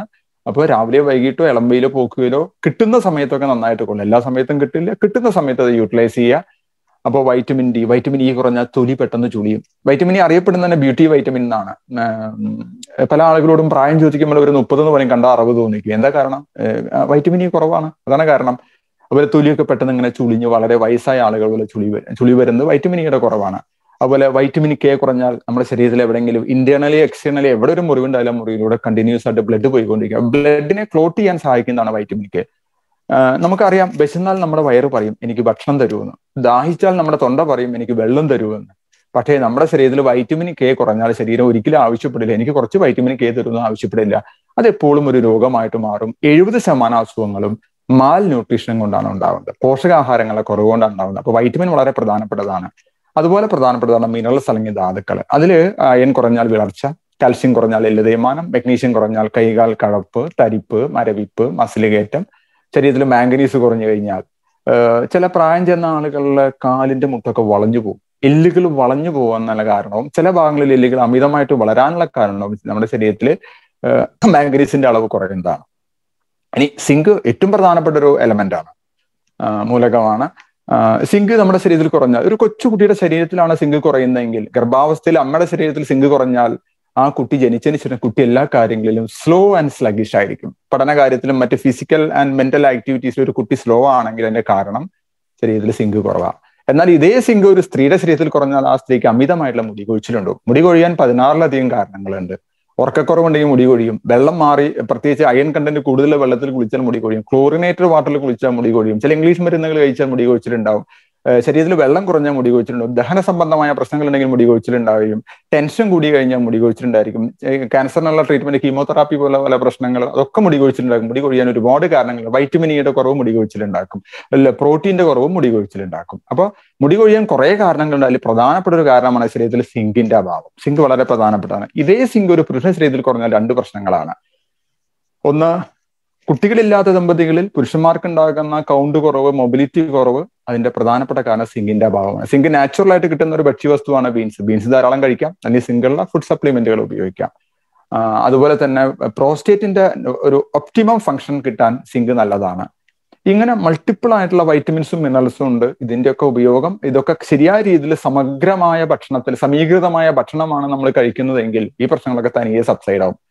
പണ്ട് കാലത്ത് നമ്മൾ നമ്മൾ ജീവിച്ചിരുന്ന ചുറ്റുപാടിൽ നിന്ന് കിട്ടുന്ന നാച്ചുറൽ ആയിട്ടുള്ള റിസോഴ്സുകൾ മാത്രം ഉപയോഗിച്ചിട്ടാണ് നമ്മൾ ജീവിച്ചിരുന്നത് ഞാൻ എന്റെ ചെറുപ്പത്തിൽ എന്റെ വീട്ടിൽ ഒരു മൂന്നേകാൽ ഏക്കർ സ്ഥലം ഉണ്ടായിരുന്നു എന്റെ അച്ഛൻ പുറമേ നിന്ന് ഉപ്പ് കടുക് ജീരകം ഉലുവ ഈ മൂന്ന് സാധനങ്ങളോട് ഒരു സാധനം വീട്ടിൽ കൊണ്ടുവരാറില്ല. വീട്ടിൽ പശു ഉണ്ടായിരുന്നു ആ പശുവിൽ നിന്ന് കിട്ടുന്ന പാൽ വീട്ടിൽ ഉപയോഗിക്കും. ആ പശു ഇടുന്ന ചാണം വീട്ടിൽ പറമ്പിൽ പാടത്തും കൃഷി ഉപയോഗിക്കും. നെല്ലുണ്ട് കപ്പയുണ്ട് ചക്കയുണ്ട് ചേനയുണ്ട് ചേമ്പിലുണ്ട് ചേമ്പുണ്ട് കാച്ചിലുണ്ട് കാവത്തുണ്ട് കൂവയുണ്ട്. സർവ സാധനങ്ങളും ഉണ്ടായിരുന്നു. ഒരു സ്വയം പര്യാപ്തമായ ആവാസ വ്യവസ്ഥയിൽ കഴിഞ്ഞ ആ കാലഘട്ടത്തിൽ ഞങ്ങൾക്ക് ആർക്കും അസുഖങ്ങൾ വരാറില്ല. കൊല്ലത്തിൽ ഒരു പനി രണ്ട് ജലദോഷം ഒരു വയറിളക്കം കഴിഞ്ഞു. അത്രയേ ഉള്ളൂ. പക്ഷെ ഇന്ന് അങ്ങനെയല്ല. ഇന്ന് കാലഘട്ടം മാറി. ഓക്കെ. അപ്പോ നമ്മൾ കഴിക്കുന്ന ഭക്ഷണം പോഷക സമൃദ്ധമല്ലെങ്കിൽ ഇന്നത്തെ കാലഘട്ടത്തിൽ അതിനുള്ള സംവിധാനമാണ്. കാരണം എല്ലാ വീടുകളിലും ഒരു കറക്റ്റ് മെനു ഉണ്ട്. രാവിലെ ദോശ ഉച്ചയ്ക്ക് ചോറ് വൈകിട്ട് ചപ്പാത്തി. നാട്ടിലെ കണക്ക്. ഇവിടെ കുറച്ച് മാറ്റങ്ങളൊക്കെ ഉണ്ട്. നിങ്ങൾ ധാരാളം ആളുകൾ പുറത്തുനിന്ന് കഴിക്കുന്നവരുണ്ട്. അതിന്റെ കണ്ടന്റ് കാര്യങ്ങളൊന്നും എനിക്ക് കാര്യമായിട്ട് പറയാൻ പറ്റില്ല. ഒരു മെനു ഉണ്ട്. അതിനപ്പുറത്തേക്ക് കടക്കില്ല. അപ്പോ നമ്മുടെ ശരീരത്തിന് എസെൻഷ്യൽ ആയിട്ട് വേണ്ട പലതും കിട്ടുന്നില്ല. വേണ്ടാത്തത് ഇഷ്ടംപോലെ കിട്ടുന്നുണ്ട്. അത് ഒരുപാട് ഹെൽത്ത് ഇഷ്യൂസ് ഉണ്ടാക്കും. അപ്പോൾ ഈ പറയുന്ന കുറച്ച് കാര്യങ്ങൾ നമ്മൾ സ്ട്രിക്റ്റ് ആയിട്ട് ഫോളോ ചെയ്താൽ ആരോഗ്യകരമായ ഒരുപാട് പ്രശ്നങ്ങളെ മാറ്റാൻ പറ്റും. അതിനൊക്കെ പ്രധാനപ്പെട്ടതാണ് ഫൈബർ ഫൈബർ അടങ്ങിയ ഭക്ഷണത്തെ കുറിച്ച് ഞാൻ പറഞ്ഞു. ഫൈബ്രസ് ഫുഡ് വേവിക്കാത്ത പച്ചക്കറികൾ സാലഡ് രൂപത്തിൽ കഴിച്ചാൽ മൂന്ന് ഗുണങ്ങളാണുള്ളത് ഒന്ന് വെയിറ്റ് കുറയും. രണ്ട് ഫാറ്റ് റിഡക്ഷൻ ഉണ്ടാവും. ഫാറ്റ് റിഡക്ഷൻ ഉണ്ടാവും. പിന്നെ നല്ല ദഹനം കിട്ടും. ഒപ്പം തന്നെ നമ്മുടെ ഇമ്മ്യൂണിറ്റി കൂടും. കാരണം വേവിക്കാത്ത പച്ചക്കറികൾ കഴിക്കുമ്പോൾ ബ്ലഡ് ആൽക്കലി നാച്ചറിലോട്ട് വരും. ബ്ലഡ് ആൽക്കലി നാച്ചർ ക്ഷാരഗുണത്തിലോട്ട് വരുമ്പോൾ നമ്മുടെ ഇമ്മ്യൂണിറ്റി പവർ ഓട്ടോമാറ്റിക്കലി ഹൈ ആവും. ഓക്കെ അപ്പൊ രോഗങ്ങൾ വരില്ല. അത് മനസ്സിലാക്കിയ പഴയ കാലഘട്ടത്തിലെ ആളുകൾ നോൺ വെജ് ഒക്കെ കഴിച്ചിരുന്ന സമയത്ത് എനിക്കറിയാം വീടുകളിൽ കോഴിയിറച്ചി വെക്കുമ്പോൾ അതിന്റെ കൂടെ കുമ്പളങ്ങ കൊണ്ട് ഒരു കറി വയ്ക്കും കോഴിയിറച്ചി ഹൺഡ്രഡ് പെർസെന്റ് അസിഡിക്ക് കുമ്പളങ്ങ ഹൺഡ്രഡ് പെർസെന്റേജ് ആൽക്കലൈൻ അപ്പൊ ആസിഡും ആൽക്കലിയും കൂടി ന്യൂട്രലൈസ് ചെയ്ത് അവിടെ നമുക്ക് ശരീരത്തിന് ബുദ്ധിമുട്ടുണ്ടാവില്ല. അതുകൊണ്ടാണ് പണ്ടത്തെ ആളുകൾ പറയാറുണ്ട് കോഴിക്ക് കുമ്പളങ്ങ കാളയ്ക്ക് കായ പന്നിക്ക് ചേന. കേട്ടിട്ടുണ്ടായിരിക്കും. പഴയ ആളുകൾ കേട്ടാൽ പുതിയ ആളുകൾ കേൾക്കാനുള്ള അവസരം ഉണ്ടായിട്ടുണ്ടാവില്ല. അപ്പോൾ ഇത്തരത്തിലൊരു ഭക്ഷണ ക്രമീകരണം നമ്മൾ ഫോളോ ചെയ്ത് കഴിഞ്ഞാൽ അപ്പോൾ വൈറ്റമിൻസ് പറഞ്ഞു മിനറൽസ് പറഞ്ഞു ഫൈബർ പറഞ്ഞു ഒരെണ്ണം കൂടി ഉണ്ട്. ദാറ്റ്സ് കോൾഡ് പ്രോട്ടീൻ പ്രോട്ടീൻ നമ്മുടെ ബോഡി ബിൽഡിംഗ് ബ്ലോക്ക് ആണ്. നമ്മുടെ ശരീരത്തിന്റെ അടിസ്ഥാന ഘടകമാണ് പ്രോട്ടീൻ ഒരു കെട്ടിടം നിർമ്മിക്കുന്നത് ബേസിക്കലി മണ്ണുകൊണ്ടാണ്. മണ്ണുകൊണ്ട് ഇഷ്ടി ഉണ്ടാക്കുന്നു ഇഷ്ടി കൊണ്ട് ചുമരുണ്ടാക്കുന്നു ചുമര് കൊണ്ട് വീടുണ്ടാക്കുന്നു. ഇതേപോലെയാണ് നമ്മുടെ ശരീരം. നമ്മുടെ ശരീരത്തിലെ നൂറ് മുതൽ നൂറ്റിപ്പത്ത് ട്രില്യൺ കോശങ്ങളുടെ അടിസ്ഥാന ഘടകമാണ് പ്രോട്ടീൻ ഈ പ്രോട്ടീൻ കൊണ്ട് കോശങ്ങളും കോശങ്ങളെ കൊണ്ട് പേശികളോ അല്ലെങ്കിൽ അസ്ഥികളോ ഉണ്ടാക്കുന്നു. അതുകൊണ്ട് നമ്മുടെ ശരീരം. അപ്പൊ നമ്മുടെ ശരീരത്തിന്റെ അടിസ്ഥാന ഘടകം എന്താണ് പ്രോട്ടീൻ ഈ പ്രോട്ടീൻ അല്ലെങ്കിൽ മാംസ്യം രണ്ട് തരത്തിൽ നമുക്ക് കിട്ടും. ഒന്ന് മുട്ട കഴിച്ച പ്രോട്ടീൻ കിട്ടും ലിവർ കഴിച്ച പ്രോട്ടീൻ കിട്ടും ഇറച്ചി കഴിച്ച പ്രോട്ടീൻ കിട്ടും. പാൽ കുടിച്ചാൽ പ്രോട്ടീൻ കിട്ടും. പക്ഷെ ഇതെല്ലാം ജന്തുജന്യമായ പ്രോട്ടീനാണ് അനിമൽ ബേസ്ഡ് പ്രോട്ടീനാണ് നമ്മുടെ ബോഡിക്ക് തന്നെ ഹൺഡ്രഡ് പെർസെന്റേജ് അബ്സോർബ് ചെയ്യാനൊന്നും പറ്റില്ല. സസ്യജന്യമായ പ്രോട്ടീൻ കുറച്ചുകൂടി നല്ലതാണ്. പ്രത്യേകിച്ച് മുളപ്പിച്ച ധാന്യങ്ങളിലൂടെ കിട്ടുന്ന പ്രോട്ടീൻ ഇപ്പൊ നമ്മുടെ നാട്ടിലൊക്കെ ചെറുപയറൊക്കെ മുളപ്പിച്ച് കഴിക്കാറുണ്ട്. വളരെ നവധാന്യങ്ങളൊക്കെ മുളപ്പിച്ച് കഴിക്കുക. ഇഷ്ടംപോലെ പ്രോട്ടീൻ പയറുവർഗങ്ങളൊക്കെ മുളപ്പിച്ച് കഴിക്കുമ്പോൾ ധാരാളം പ്രോട്ടീൻ കിട്ടും. അപ്പൊ ഒരു ശീലം കൊണ്ടുവരാം ഡെയിലി ഒരു ഒന്നോ രണ്ടോ സ്പൂണ് ചെറുപയർ അല്ലെങ്കിൽ കടലയൊക്കെ മുളപ്പിച്ച് സാലഡ് രൂപത്തിൽ കഴിച്ചു നോക്കൂ. വണ്ടർഫുൾ ആയിട്ടുള്ള റിസൾട്ട് കിട്ടും. അപ്പോ പ്രോട്ടീന്റെ കുറവ് നമ്മുടെ ശരീരത്തിൽ പലതരത്തിൽ ഇൻഡിക്കേഷൻ ആണ് വരിക. ഇപ്പൊ മുടിക്കുണ്ടാകുന്ന പ്രശ്നങ്ങളുടെ അടിസ്ഥാന കാരണം പ്രോട്ടീനാണ് എനിക്കറിയാം എന്റെ ചെറുപ്പത്തിലൊക്കെ സ്കൂളിൽ പത്താം ക്ലാസ് പഠിക്കുന്ന കുട്ടികളൊക്കെ സ്കൂൾ വിട്ട് പോകുന്ന സമയത്ത് പെൺകുട്ടികളാണെങ്കിൽ തൊണ്ണൂറ് ശതമാനം പേർക്കും മുട്ടിന് താഴെ മുടി ഉണ്ടായിരുന്നു. എന്ന പത്ത് ശതമാനത്തിന് പോലും കുറ്റിച്ചൂര് പോലെ ഈ തലയിൽ റബ്ബർ ബാൻഡ് ഇട്ട് കെട്ടിവെക്കുന്ന മുടിയാണ്. മുടി മുടിക്കുണ്ടാകുന്ന സർവ പ്രശ്നങ്ങൾ മുടി ജട പിടിക്കുക മുടി ചെമ്പിച്ചു വരിക മുടി ജീവനില്ലാത്ത മുടിയായിരിക്കുക മുടി പെട്ടെന്ന് പൊട്ടിപ്പോവുക മുടിയിൽ കായ വരിക ഇതൊക്കെ പ്രോട്ടീന്റെ കുറവാണ്. ഇനി സ്കിൻ എപ്പോഴും ഡ്രൈ ആയിട്ടിരിക്കുന്നതിന് അത് പ്രോട്ടീന്റെ ഡെഫിഷ്യൻസി ഉദ്ദേശിക്കുന്നത് നിങ്ങളുടെ ശരീരത്തിൽ എപ്പോഴും വേദനകൾ എല്ലാ സ്ഥലത്തും വേദനകൾ ഉണ്ടെങ്കിൽ അത് പ്രോട്ടീന്റെ ഡെഫിഷ്യൻസിയാണ് നമ്മുടെ ശരീരത്തിൽ ഉണങ്ങാത്ത ഒരു മുറിവ് ഓഫ് കോഴ്സ് ഷുഗർ പേഷ്യൻസിന് മുറിവുകൾ ഉണ്ടാകും ഞാൻ അതല്ല പറയുന്നത്. ഉണങ്ങാതെ എപ്പോഴും മുറിവ് മുറിവ് ഉണങ്ങാൻ ഒരുപാട് ടൈം എടുക്കുന്നുണ്ടെങ്കിൽ അത് പ്രോട്ടീന്റെ കുറവാണ്. പ്രോട്ടീന്റെ കുറവ് കൊണ്ടും ഉണ്ടാകുന്ന മറ്റൊരു പ്രശ്നമാണ് നമ്മളെപ്പോഴും ഒരു ഡിപ്രസ്ഡ് മൂഡിലായിരിക്കും എല്ലാ സമയത്തും ഒരു ഡൾ ഒരു ഡൾ അറ്റ്മോസ്ഫിയർ അങ്ങനെ ഇരിക്കും അത് പ്രോട്ടീൻ കാരണം എനർജി കിട്ടുന്നില്ല. ഓക്കെ അപ്പോ ശരീരത്തിലെ തേയ്മാനങ്ങളുടെ അടിസ്ഥാന കാരണമാണ് പ്രോട്ടീൻ ഇപ്പൊ ഞാൻ ഒരു ചെറിയൊരു എക്സാമ്പിൾ പറയാം. എത്ര പ്രോട്ടീൻ നമ്മൾ ഡെയിലി കഴിക്കണം? ഒരു ഒരു കിലോ ശരീരഭാരത്തിന് ഒരു ഗ്രാം പ്രോട്ടീൻ ഒരു ആവറേജ് മലയാളി ഒരു അറുപത് അറുപത്തഞ്ച് കിലോ തൂക്കമുണ്ടെങ്കിൽ അറുപത് മുതൽ അറുപത്തഞ്ച് ഗ്രാം പ്രോട്ടീൻ എല്ലാ ദിവസവും ഭക്ഷണത്തിലൂടെ ശരീരത്തിന് കിട്ടണം. ശരീരത്തിന് കിട്ടിയില്ലെങ്കിൽ അത് മുഴുവൻ തേയ്മാനങ്ങളായിട്ട് മാറും. അത് എല്ലുകളെ ബാധിച്ചു കഴിഞ്ഞാൽ എല്ലിനുള്ള തേയ്മാനം. ഇനി മസിലുകളെ ബാധിച്ചു കഴിഞ്ഞാൽ അത് വേദന. രണ്ട് തരത്തിലാണ് വരുന്നത്. ഇപ്പൊ ഒരു എക്സാമ്പിൾ ഇപ്പൊ രാവിലെ സാധാരണ ഫുഡ് ഇപ്പൊ കേരളത്തിന്റെ രീതി വെച്ച് നോക്കി കഴിഞ്ഞാൽ രാവിലെ മിക്കവാറും വീട്ടിൽ ഇഡ്ഡലി ദോശ ഇഡ്ഡലി ദോശ. ഒരു പത്ത് ഗ്രാം പ്രോട്ടീൻ കിട്ടും. ഉച്ചയ്ക്ക് ഒരു ചോറുണ്ടോ ചിലപ്പോൾ സാമ്പാറുണ്ടോ? അല്ലെങ്കിൽ ചിലപ്പോൾ ഒരു ഇറച്ചിക്കറി ഉണ്ടോ? അവിടെയും കിട്ടും ഒരു പത്ത് ഗ്രാം പ്രോട്ടീൻ. അത്താഴത്തിന് ചിലപ്പോൾ ചപ്പാത്തി ആയിരിക്കും ഒരു ദാൽ ഫ്രൈ ഉണ്ടോ അവിടെയും കിട്ടും ഒരു പത്ത് ഗ്രാം. അറുപത് ഗ്രാം തൂക്കമുള്ള ഒരാൾക്ക് അറുപത് ഗ്രാം പ്രോട്ടീൻ കിട്ടേണ്ട സാഹചര്യത്തിൽ കിട്ടുന്നത് മുപ്പത് ഗ്രാം ആണ് ബാക്കി വരുന്ന മുപ്പത് ഗ്രാമാണ് ആ ഡെഫിഷ്യൻസിയാണ് നമ്മുടെ ശരീരത്തിൽ തേയ്മാനങ്ങൾ വിയർ ആൻഡ് ടിയർ ആയിട്ട് മാറുന്നത്. അപ്പൊ പ്രോട്ടീനേഷ്യസ് ഫുഡ് നന്നായിട്ട് കഴിക്കുക. അപ്പോൾ ഈ തരത്തിലുള്ള ഭക്ഷണ ക്രമീകരണം നമ്മുടെ ലൈഫിൽ വലിയ മാറ്റങ്ങൾ ഉണ്ടാക്കും. ഇനി ഇപ്പോഴാണ് കണ്ടുവരുന്ന ഏറ്റവും വലിയ പ്രശ്നം നമ്മൾ ഫേസ് ചെയ്യുന്ന പ്രശ്നം ഷുഗറോ പ്രഷറോ കൊളസ്ട്രോളോ ഹാർട്ട് ബ്ലോക്കോ സ്ട്രോക്കോ ക്യാൻസറോ സ്കിൻ പ്രോബ്ലം ആണ്. സ്കിൻ പ്രോബ്ലം വരാനുള്ള ഏറ്റവും പ്രധാനപ്പെട്ട കാരണം വിരുദ്ധ ഭക്ഷണങ്ങൾ നമ്മൾ നന്നായിട്ട് കഴിക്കാറുണ്ട്. വിരുദ്ധ ഭക്ഷണം എന്ന് വെച്ചാൽ ഒറ്റയ്ക്ക് ഒറ്റയ്ക്ക് കഴിച്ചാൽ കുഴപ്പമൊന്നുമില്ലാത്ത ചില ഭക്ഷണം ഒരുമിച്ച് കഴിച്ചാൽ ശരീരത്തിന് സീരിയസ് ആയിട്ടുള്ള ഒരു ഹെൽത്ത് ഇഷ്യൂ ഉണ്ടാവും. ഓക്കെ ഇപ്പോ മുട്ട കഴിക്കുമ്പോൾ അതിന്റെ കൂടെ പഴം കഴിക്കുക. അത് വിരുദ്ധ ഭക്ഷണമാണ്. പുളിയുള്ള പഴങ്ങളുടെ കൂടെ മധുരമുള്ള പഴങ്ങൾ കഴിക്കുക. അത് ചേരില്ല. അത് വളരെ മിസ്മാച്ചിങ് ആണ്. പക്ഷേ ശരീരത്തിന് പ്രത്യേകിച്ച് ഒന്നും പറയാൻ പറ്റില്ല. കാരണം ആമാശയത്തിന് കൈയില്ല. ആമാശയത്തിന് കൈ ഉണ്ടായിരുന്നെങ്കിൽ അത് നിങ്ങളെ തല്ലിയേനെ. ഈ ഭക്ഷണം ഈ വയറിലേക്ക് ഇടരുത് പറഞ്ഞിട്ട് തല്ലിയേനെ. അപ്പോ നമ്മൾ എന്താ ചെയ്യുന്നത്? നമ്മളിങ്ങനെ ഭക്ഷണം കഴിച്ചുകൊണ്ടിരിക്കും. ഇഷ്ടംപോലെ കഴിക്കും. ഒരു കോമ്പിനേഷനും നോക്കില്ല. മോ പാലോ മോരോ കഴിക്കുമ്പോൾ അതിന്റെ കൂടെ ഒരു കാരണവശാലും നോൺ വെജ് ഒരേ സമയം നമ്മുടെ വയറിൽ വരരുത്. മീൻ കഴിക്കുമ്പോൾ അതിന്റെ കൂടെ മോര് കഴിക്കാൻ പാടില്ല. മോര് ഒരു കാരണവശാലും രാത്രി കഴിക്കാൻ പാടില്ല. ഏറ്റവും കൂടുതൽ സ്കിൻ പ്രോബ്ലം സൊറിയാസിസ് ഉണ്ടാവാനുള്ള കാരണം ഇതാണ്. ഒരു ഒന്നര വർഷം മുമ്പ് പതിനെട്ട് വയസ്സുള്ള ഒരു പെൺകുട്ടി ഇരിങ്ങാലക്കുട കേരളത്തിലെ തൃശ്ശൂർ ജില്ല ഇരിങ്ങാലക്കുട ഒരു അവിടെ കോളേജിൽ പഠിക്കുന്ന ഒരു പെൺകുട്ടി എന്നെ വിളിച്ചു. ഇവിടുന്ന് നമ്പർ കിട്ടി വിളിച്ചതാണ്. മേര് മുഴുവൻ ചൊറി. അപ്പൊ വീഡിയോ കോളാണ് തന്നെ മുഖത്ത് കയ്യിൽ സർവദിക്കിലും ചൊറി. അപ്പൊ അവർ കാര്യങ്ങളൊക്കെ പറഞ്ഞു. നല്ല സ്മാർട്ടായാലും ഒരു പെൺകുട്ടി. ഞാൻ ചോദിച്ചു മോര് ഇഷ്ടമാണോ ഭയങ്കര ഇഷ്ടമാണ് എങ്ങനെയാ കഴിക്കുക? മീനും കുട്ടി കഴിക്കും. എപ്പ കഴിക്കും? രാത്രി കഴിക്കും. വളരെ വിശേഷം. ആ കുട്ടി പിന്നീട് ഞാൻ പറഞ്ഞ കാര്യങ്ങളൊക്കെ ഫോളോ ചെയ്തു. ഹൺഡ്രഡ് പെർസെന്റേജ് മാറി. വളരെ ഹാപ്പി ആയിട്ട് ഒരു ദിവസം എന്നെ ഒരു പ്രോഗ്രാമിൽ കാണാൻ വന്നിരുന്നു. അപ്പോൾ ആലോചിച്ച് നോക്കുക. നമ്മൾ കഴിക്കുന്ന ഭക്ഷണം. ഇപ്പോൾ പലരും ചെയ്യാറുണ്ട് ചൂടുള്ള ചപ്പാത്തിയിൽ എള്ളെണ്ണ പുരട്ടി കഴിക്കും ചപ്പാത്തി അടിപൊളിയാണ്. എള്ളെണ്ണ അതിനേക്കാൾ നല്ലതാ. കണ്ണിനൊക്കെ ഏറ്റവും നല്ലതാണ് എള്ളെണ്ണ. പക്ഷെ ചൂടുള്ള ചപ്പാത്തിയിൽ എള്ളെണ്ണ പുരട്ടി കഴിച്ചാൽ കണ്ണിന്റെ കാഴ്ചശക്തി പോകും കൊക്കക്കോള അല്ലെങ്കിൽ സ്പ്രൈറ്റ് നമ്മുടെ നാട്ടിൽ ഒരു തരിപ്പ് മിഠായി ഉണ്ട്. ഇവിടെ ഉണ്ടോന്ന് അറിയില്ല. പോളോ മിഠായി ഉണ്ട്. ഇവിടെ ഉണ്ടോന്ന് എനിക്കറിയില്ല പോളോ മിഠായി നല്ല രസമാണ് കൊക്കക്കോള നല്ലതാണോ ചെയ്ത് കഴിഞ്ഞാൽ ഇവിടെ പറയുന്നില്ല കാരണം ഇവിടെ ധാരാളം ആളുകൾ കഴിക്കുന്നുണ്ട്. പക്ഷെ കാർബണേറ്റഡ് ഡ്രിങ്ക്സ് ഒരിക്കലും നമ്മുടെ ശരീരത്തിന് ഗുണം ചെയ്യില്ല. പിന്നീട് അത് ദോഷമേ ചെയ്യുള്ളൂ ഇത് രണ്ടും ഒരുമിച്ച് കഴിച്ചുള്ളൂ. സോഡിയം സയനൈഡ് ഫോം ചെയ്ത് വയറ് പൊട്ടി ആൾ മരിക്കും. സിമ്പിളാണ് വളരെ സിമ്പിളാണ് അപ്പോ വിരുദ്ധ പക്ഷങ്ങൾ ഇഷ്ടംപോലെ ഉണ്ട്.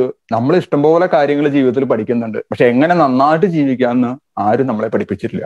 അല്ലെ? നമ്മുടെ ജീവിതത്തിൽ ഇഷ്ടം പോലെ കാര്യങ്ങൾ ലോകത്തിലെ സർവ കാര്യങ്ങളും നമ്മുടെ വിരൽത്തുമ്പിലുണ്ട്. But how to live happily how to live healthy എന്ന് സത്യത്തിൽ ആരും പഠിപ്പിക്കുന്നില്ല.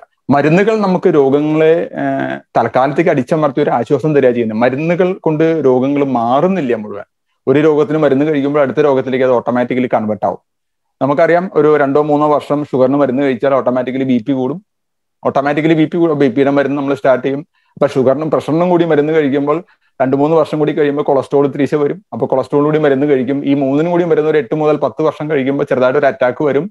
ഭാഗ്യമുണ്ടെങ്കിൽ പിന്നെ ബുദ്ധിമുട്ടൊന്നും ഉണ്ടാവില്ല. ഭാഗ്യമില്ലെങ്കിൽ ആൻജിയോപ്ലാസ്റ്റിയും ചെയ്ത് നമ്മൾ രണ്ടോ മൂന്നോ വർഷം കഴിയുമ്പോൾ ബൈപ്പാസ് ചെയ്യും. അങ്ങനെ ലൈഫ് ഇങ്ങനെ മരുന്നുകളിലൂടെ പോയിക്കൊണ്ടിരിക്കുന്ന ഈ ഒരു കാലഘട്ടത്തിൽ മരുന്നില്ലാതെ ജീവിക്കാൻ നമുക്ക് കഴിയും. ഇറ്റ്സ് പോസിബിൾ ഒറ്റ കാര്യം ചെയ്യുള്ളൂ. നമ്മുടെ ചിന്താഗതികളൊന്നും മാറ്റുക നമ്മുടെ ആശയങ്ങളൊന്നും മാറ്റുക നമ്മുടെ കൺസെപ്റ്റ് ഒന്നും മാറ്റുക ഈ ഒരു ആശയം നിങ്ങളുടെ ജീവിതത്തിൽ എന്തെങ്കിലും ചെറിയൊരു മാറ്റം വരുത്താൻ സാധിച്ചുവെങ്കിൽ ഐ എം ഹാപ്പി കാരണം ഞാൻ കാനഡയിൽ വന്ന് ഞാൻ ഇവിടുത്തെ കാഴ്ചകളൊക്കെ കണ്ട് തിരിച്ചുപോയി ഞാൻ മാത്രം ഹാപ്പി ആയിട്ട് കാര്യമില്ല. ഇവിടെ വന്ന ഏതെങ്കിലും ഒരു മനുഷ്യന്റെ ജീവിതത്തിൽ ഒരു ഹാപ്പിനെസ് കൊടുക്കാൻ സാധിച്ചാൽ തീർച്ചയായിട്ടും അത് വലിയൊരു മാറ്റം ഉണ്ടാക്കും. വലിയൊരു മാറ്റം ഉണ്ടാക്കുക സംശയം ഇന്ന് രാവിലെ ഒരു പ്രോഗ്രാം ഒരു ചർച്ചിന്റെ കറോക്കിൽ നടത്തിയിരുന്നു. കുറച്ചു പേരെ പങ്കെടുത്തുള്ളൂ. എനിക്കറിയാം കുറെ ആളുകളൊന്നും വലിയൊരു ആശയത്തിലേക്ക് കുറെ ആളുകളൊന്നും കടന്നു വരില്ല. പക്ഷേ വരുന്ന ആളുകൾ അതിനെ സീരിയസ് ആയിട്ട് എടുത്താൽ അത് ആ ദേശം മുഴുവൻ എത്തിക്കാൻ സാധിക്കും. കാരണം ഒരു കാട്ടുതീ ഉണ്ടാകുന്നത് വെറും ഒരു തീപ്പൊരിയിലൂടെയാണ്. അതിനപ്പുറമൊന്നുമില്ല. അല്ലെ? ഒരു തീപ്പൊരി മതി ഒരു കാട് മുഴുവൻ കത്തിക്കാൻ. അപ്പൊ ഈ ഒരു ആശയത്തെ പ്രകൃതിയിൽ നിന്ന് പ്രകൃതി ജീവിക്കുന്ന ജീവജാലങ്ങൾക്ക് രോഗങ്ങൾ വരാറില്ല. വളരെ വ്യക്തമാണ് അല്ലെ? നമ്മുടെ വീട്ടിൽ വരുന്ന പട്ടിയോ പശുവോ പൂച്ചയോ ആടിനോ കോഴിനോ കോഴിക്ക് എന്തെങ്കിലും അസുഖങ്ങൾ വരാറുണ്ടോ? ഒന്നുമില്ല. കാരണം അവ നാച്ചുറൽ ഫുഡ് കഴിക്കുന്നു. പ്രകൃതിയുമായി ഇണങ്ങി ജീവിക്കുന്ന ഒരു ജീവജാലങ്ങൾക്ക് ഒരു രോഗങ്ങളും വരില്ല. അപ്പോ നമ്മുടെ ലൈഫിൽ കുറച്ച് മാറ്റങ്ങൾ വരുത്തണമെങ്കിൽ നമ്മുടെ ആരോഗ്യകാര്യത്തിൽ കുറച്ച് മാറ്റങ്ങൾ വരുത്തണമെങ്കിൽ നമ്മുടെ ചിന്താഗതികളൊന്ന് മാറണം നമ്മുടെ ഭക്ഷണ രീതി ഒന്ന് മാറണം കുറച്ച് ബുദ്ധിമുട്ടൊക്കെ ഉണ്ടാവും. കാരണം ഇതുവരെ ശീലിച്ച അതേ കാര്യങ്ങൾ മാറി ഒന്ന് വരുമ്പോൾ ചെറിയൊരു ബുദ്ധിമുട്ടുണ്ടാവും. ബട്ട് ആ ഒരു മാറ്റം നമ്മുടെ ലൈഫിൽ ഗുണം ചെയ്യും. Because where there is a change there is growth എവിടെയാണോ മാറ്റങ്ങൾ ഉണ്ടാവുന്നത് അവിടെ വളർച്ച ഉണ്ടാവുള്ളൂ. And where there is growth there is life എവിടെയാണോ വളർച്ച ഉണ്ടാവുന്നത് അവിടെ ജീവിതമുള്ളൂ and where there is life there is happiness നമ്മളെല്ലാവരും ജീവിക്കുന്നത് ഒറ്റ കാര്യത്തിന് വേണ്ടിയിരുന്ന ഹാപ്പിനെസ് അത് പല രൂപത്തിലാവാം. അത് പണത്തിന്റെ രൂപത്തിലാവാം ആരോഗ്യത്തിന്റെ രൂപത്തിലാവാം സമ്പത്തിന്റെ രൂപത്തിലാവാം അംഗീകാരങ്ങളുടെ രൂപത്തിലാവാം യാത്രയുടെ രൂപത്തിലാവാം നല്ല ബന്ധങ്ങളുടെ അടിസ്ഥാനത്തിലായിരിക്കാം എല്ലാം അൾട്ടിമേറ്റ്ലി ഒരു ഹാപ്പിയോടുകൂടി ഒരു ഹാപ്പിനെസ്സോടുകൂടി കഴിയാൻ ഈ സംവിധാനം നിങ്ങളെ ഓരോരുത്തരെയും സഹായിക്കും. ഞാൻ നിങ്ങളെ ആരെയും നേരിട്ട് കണ്ടിട്ടില്ല. ആരൊക്കെ അത് കേൾക്കുന്നു എന്നറിയില്ല ബട്ട് ആരൊക്കെ കേട്ടു ആരൊക്കെ അത് സ്വീകരിച്ചു അവരുടെ ലൈഫിൽ വലിയ മാറ്റങ്ങൾ അത് ഉണ്ടാക്കും. ആരൊക്കെയാണോ അത് അഡോപ്റ്റ് ചെയ്യുന്ന കേട്ടതുകൊണ്ട് മാത്രം കാര്യമില്ല. അറിവ് കിട്ടിയോണ്ട് കാര്യമില്ല. അറിവിന്റെ അപ്ലിക്കേഷൻ നമ്മുടെ ലൈഫിൽ ഉണ്ടായിരിക്കണം. അപ്പൊ നിങ്ങളുടെ എല്ലാവരുടെ ജീവിതത്തിലും ഈ ഒരു ദിവസം ഈ ഒരു ചെറിയൊരു ആശയം ചെറിയൊരു മാറ്റങ്ങളും വരുത്താൻ സാധിച്ചെങ്കിൽ I am very happy so തീർച്ചയായിട്ടും വീണ്ടും ഒരിക്കൽ കൂടി കാനഡ വിസിറ്റ് ചെയ്യുമ്പോൾ നിങ്ങളെ പലരെയും ഭൂരിപക്ഷം കാണാനുള്ള ഒരു അവസരം ഉണ്ടാവട്ടെ. എല്ലാവർക്കും എല്ലാവിധ നന്മയും നടന്നുകൊണ്ട് നിർത്തുന്നു. ജയ് ഹിന്ദ്. ഫസ്റ്റ് ഓഫ് ഓൾ വലിയ താങ്ക് യു ഈ സമയമെടുത്ത് ഇവിടെ ചുരുങ്ങിയ സമയത്ത് ഇവിടെ വിസിറ്റിന് വന്നപ്പോഴും ഞങ്ങൾക്ക് വേണ്ടി ഒരു ക്ലാസ് അറേഞ്ച് ചെയ്തതിന് വളരെ വളരെ താങ്ക് യു അപ്പോ എല്ലാവർക്കും വേണ്ടി ഞാൻ ഒരു ക്വസ്റ്റ്യൻ ചോദിക്കുകയാണ് അതായത് എല്ലാവർക്കും ഉള്ള ഒരു ക്വസ്റ്റ്യൻ എന്തായിരിക്കും വെച്ചിട്ടുണ്ടെങ്കിൽ നമ്മൾ കുറെ കാര്യങ്ങൾ പറഞ്ഞു. പക്ഷെ എവിടെ സ്റ്റാർട്ട് ചെയ്യും? അല്ലെങ്കിൽ നമ്മളിപ്പോ ഈ പറഞ്ഞ കാര്യങ്ങൾ എന്തെങ്കിലും വെച്ച് സ്റ്റാർട്ട് ചെയ്താൽ എന്തെങ്കിലും പ്രയോജനം ഉണ്ടാവോ തീർച്ചയായിട്ടും അതെ. തീർച്ചയായിട്ടും ഉണ്ടോ ഞാൻ പറഞ്ഞില്ലേ പത്ത് ശതമാനം നിങ്ങൾ ചേഞ്ച് ചെയ്താൽ ഇരുപത് ശതമാനം റിസൾട്ട് കിട്ടും ഞാൻ ഗ്യാരണ്ടി പറയാം. Okay you start start changing from the food ഒരു നേരത്തെ ഭക്ഷണം റോ ഫുഡ് കഴിക്കുന്ന ഒരു ശീലം. കഴിഞ്ഞ പതിനാറര വർഷമായിട്ട് ഒരു നേരം പഴങ്ങൾ മാത്രം കഴിക്കുന്ന വ്യക്തിയാണ് ഞാൻ ഇന്നും ഈ കാനഡയിൽ വന്നിട്ട് ഇന്നും അത് തന്നെ കഴിച്ചത്. ഓക്കെ?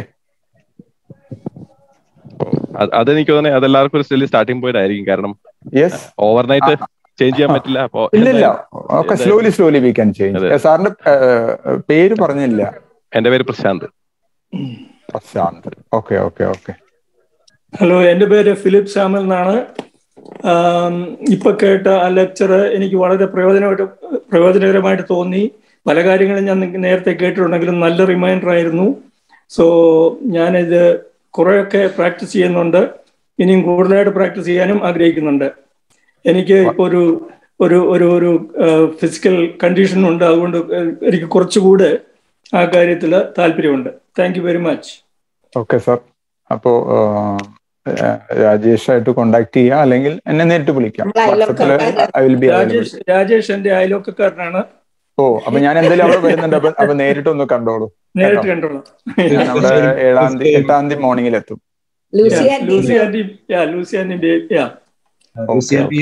വീട്ടിൽ കാണും. തീർച്ചയായിട്ടും എപ്പോഴും thank you very much doctor എന്റെ എന്റെ പേര് സുനിൽ. ഞാൻ ഒരു കാര്യം ചോദിച്ചോട്ടെ? First of all many many thanks for this one it's very very informative ഞാൻ കുറച്ച് നോട്ട്സ് എഴുതിയിട്ടുണ്ട്. അതിൽ ഈ ഇവിടെ ഇപ്പൊ ഡോക്ടർ വൈറ്റ് റൈസിനെ പറ്റി പറഞ്ഞു. അപ്പൊ അതിന് പകരമായിട്ട് ഇവിടെ ബ്രൗൺ റൈസ് എന്ന് പറഞ്ഞിട്ട് പാക്കറ്റ്സ് വരുന്നുണ്ട്. അപ്പൊ അത് അത് എത്രത്തോളം അതിൽ ചെയ്യേണ്ട കാര്യം ഇത്രയേ ഉള്ളൂ. അത് അൺബോയിൽഡ് ആണെങ്കിൽ ഇറ്റ് ഈസ് ബെസ്റ്റ് ഏത് റൈസും ആയിക്കോട്ടെ. അത് ബ്രൗണോ വൈറ്റോ ആയിക്കോട്ടെ it should be unboiled okay നമ്മൾ പൊതുവെ മലയാളികൾ മാത്രമാണ് ഈ പകുതി വേവിച്ചതോ അല്ലെങ്കിൽ രണ്ട് തവണ വേവിച്ചതോ ആയിട്ടുള്ള പുഴുങ്ങലരി പുഴുങ്ങിയ അരി നെല്ലിന്റെ അരി കഴിക്കുക. അത് ഒഴിവാക്കുക. പരമാവധി ഒഴിവാക്കുക. കാരണം അതിൽ അതിൽ ബ്രാൻ എന്ന കണ്ടന്റേ ഇല്ല. ബ്രാനാണ് ഏറ്റവും ഗുണം ചെയ്യുന്നത്.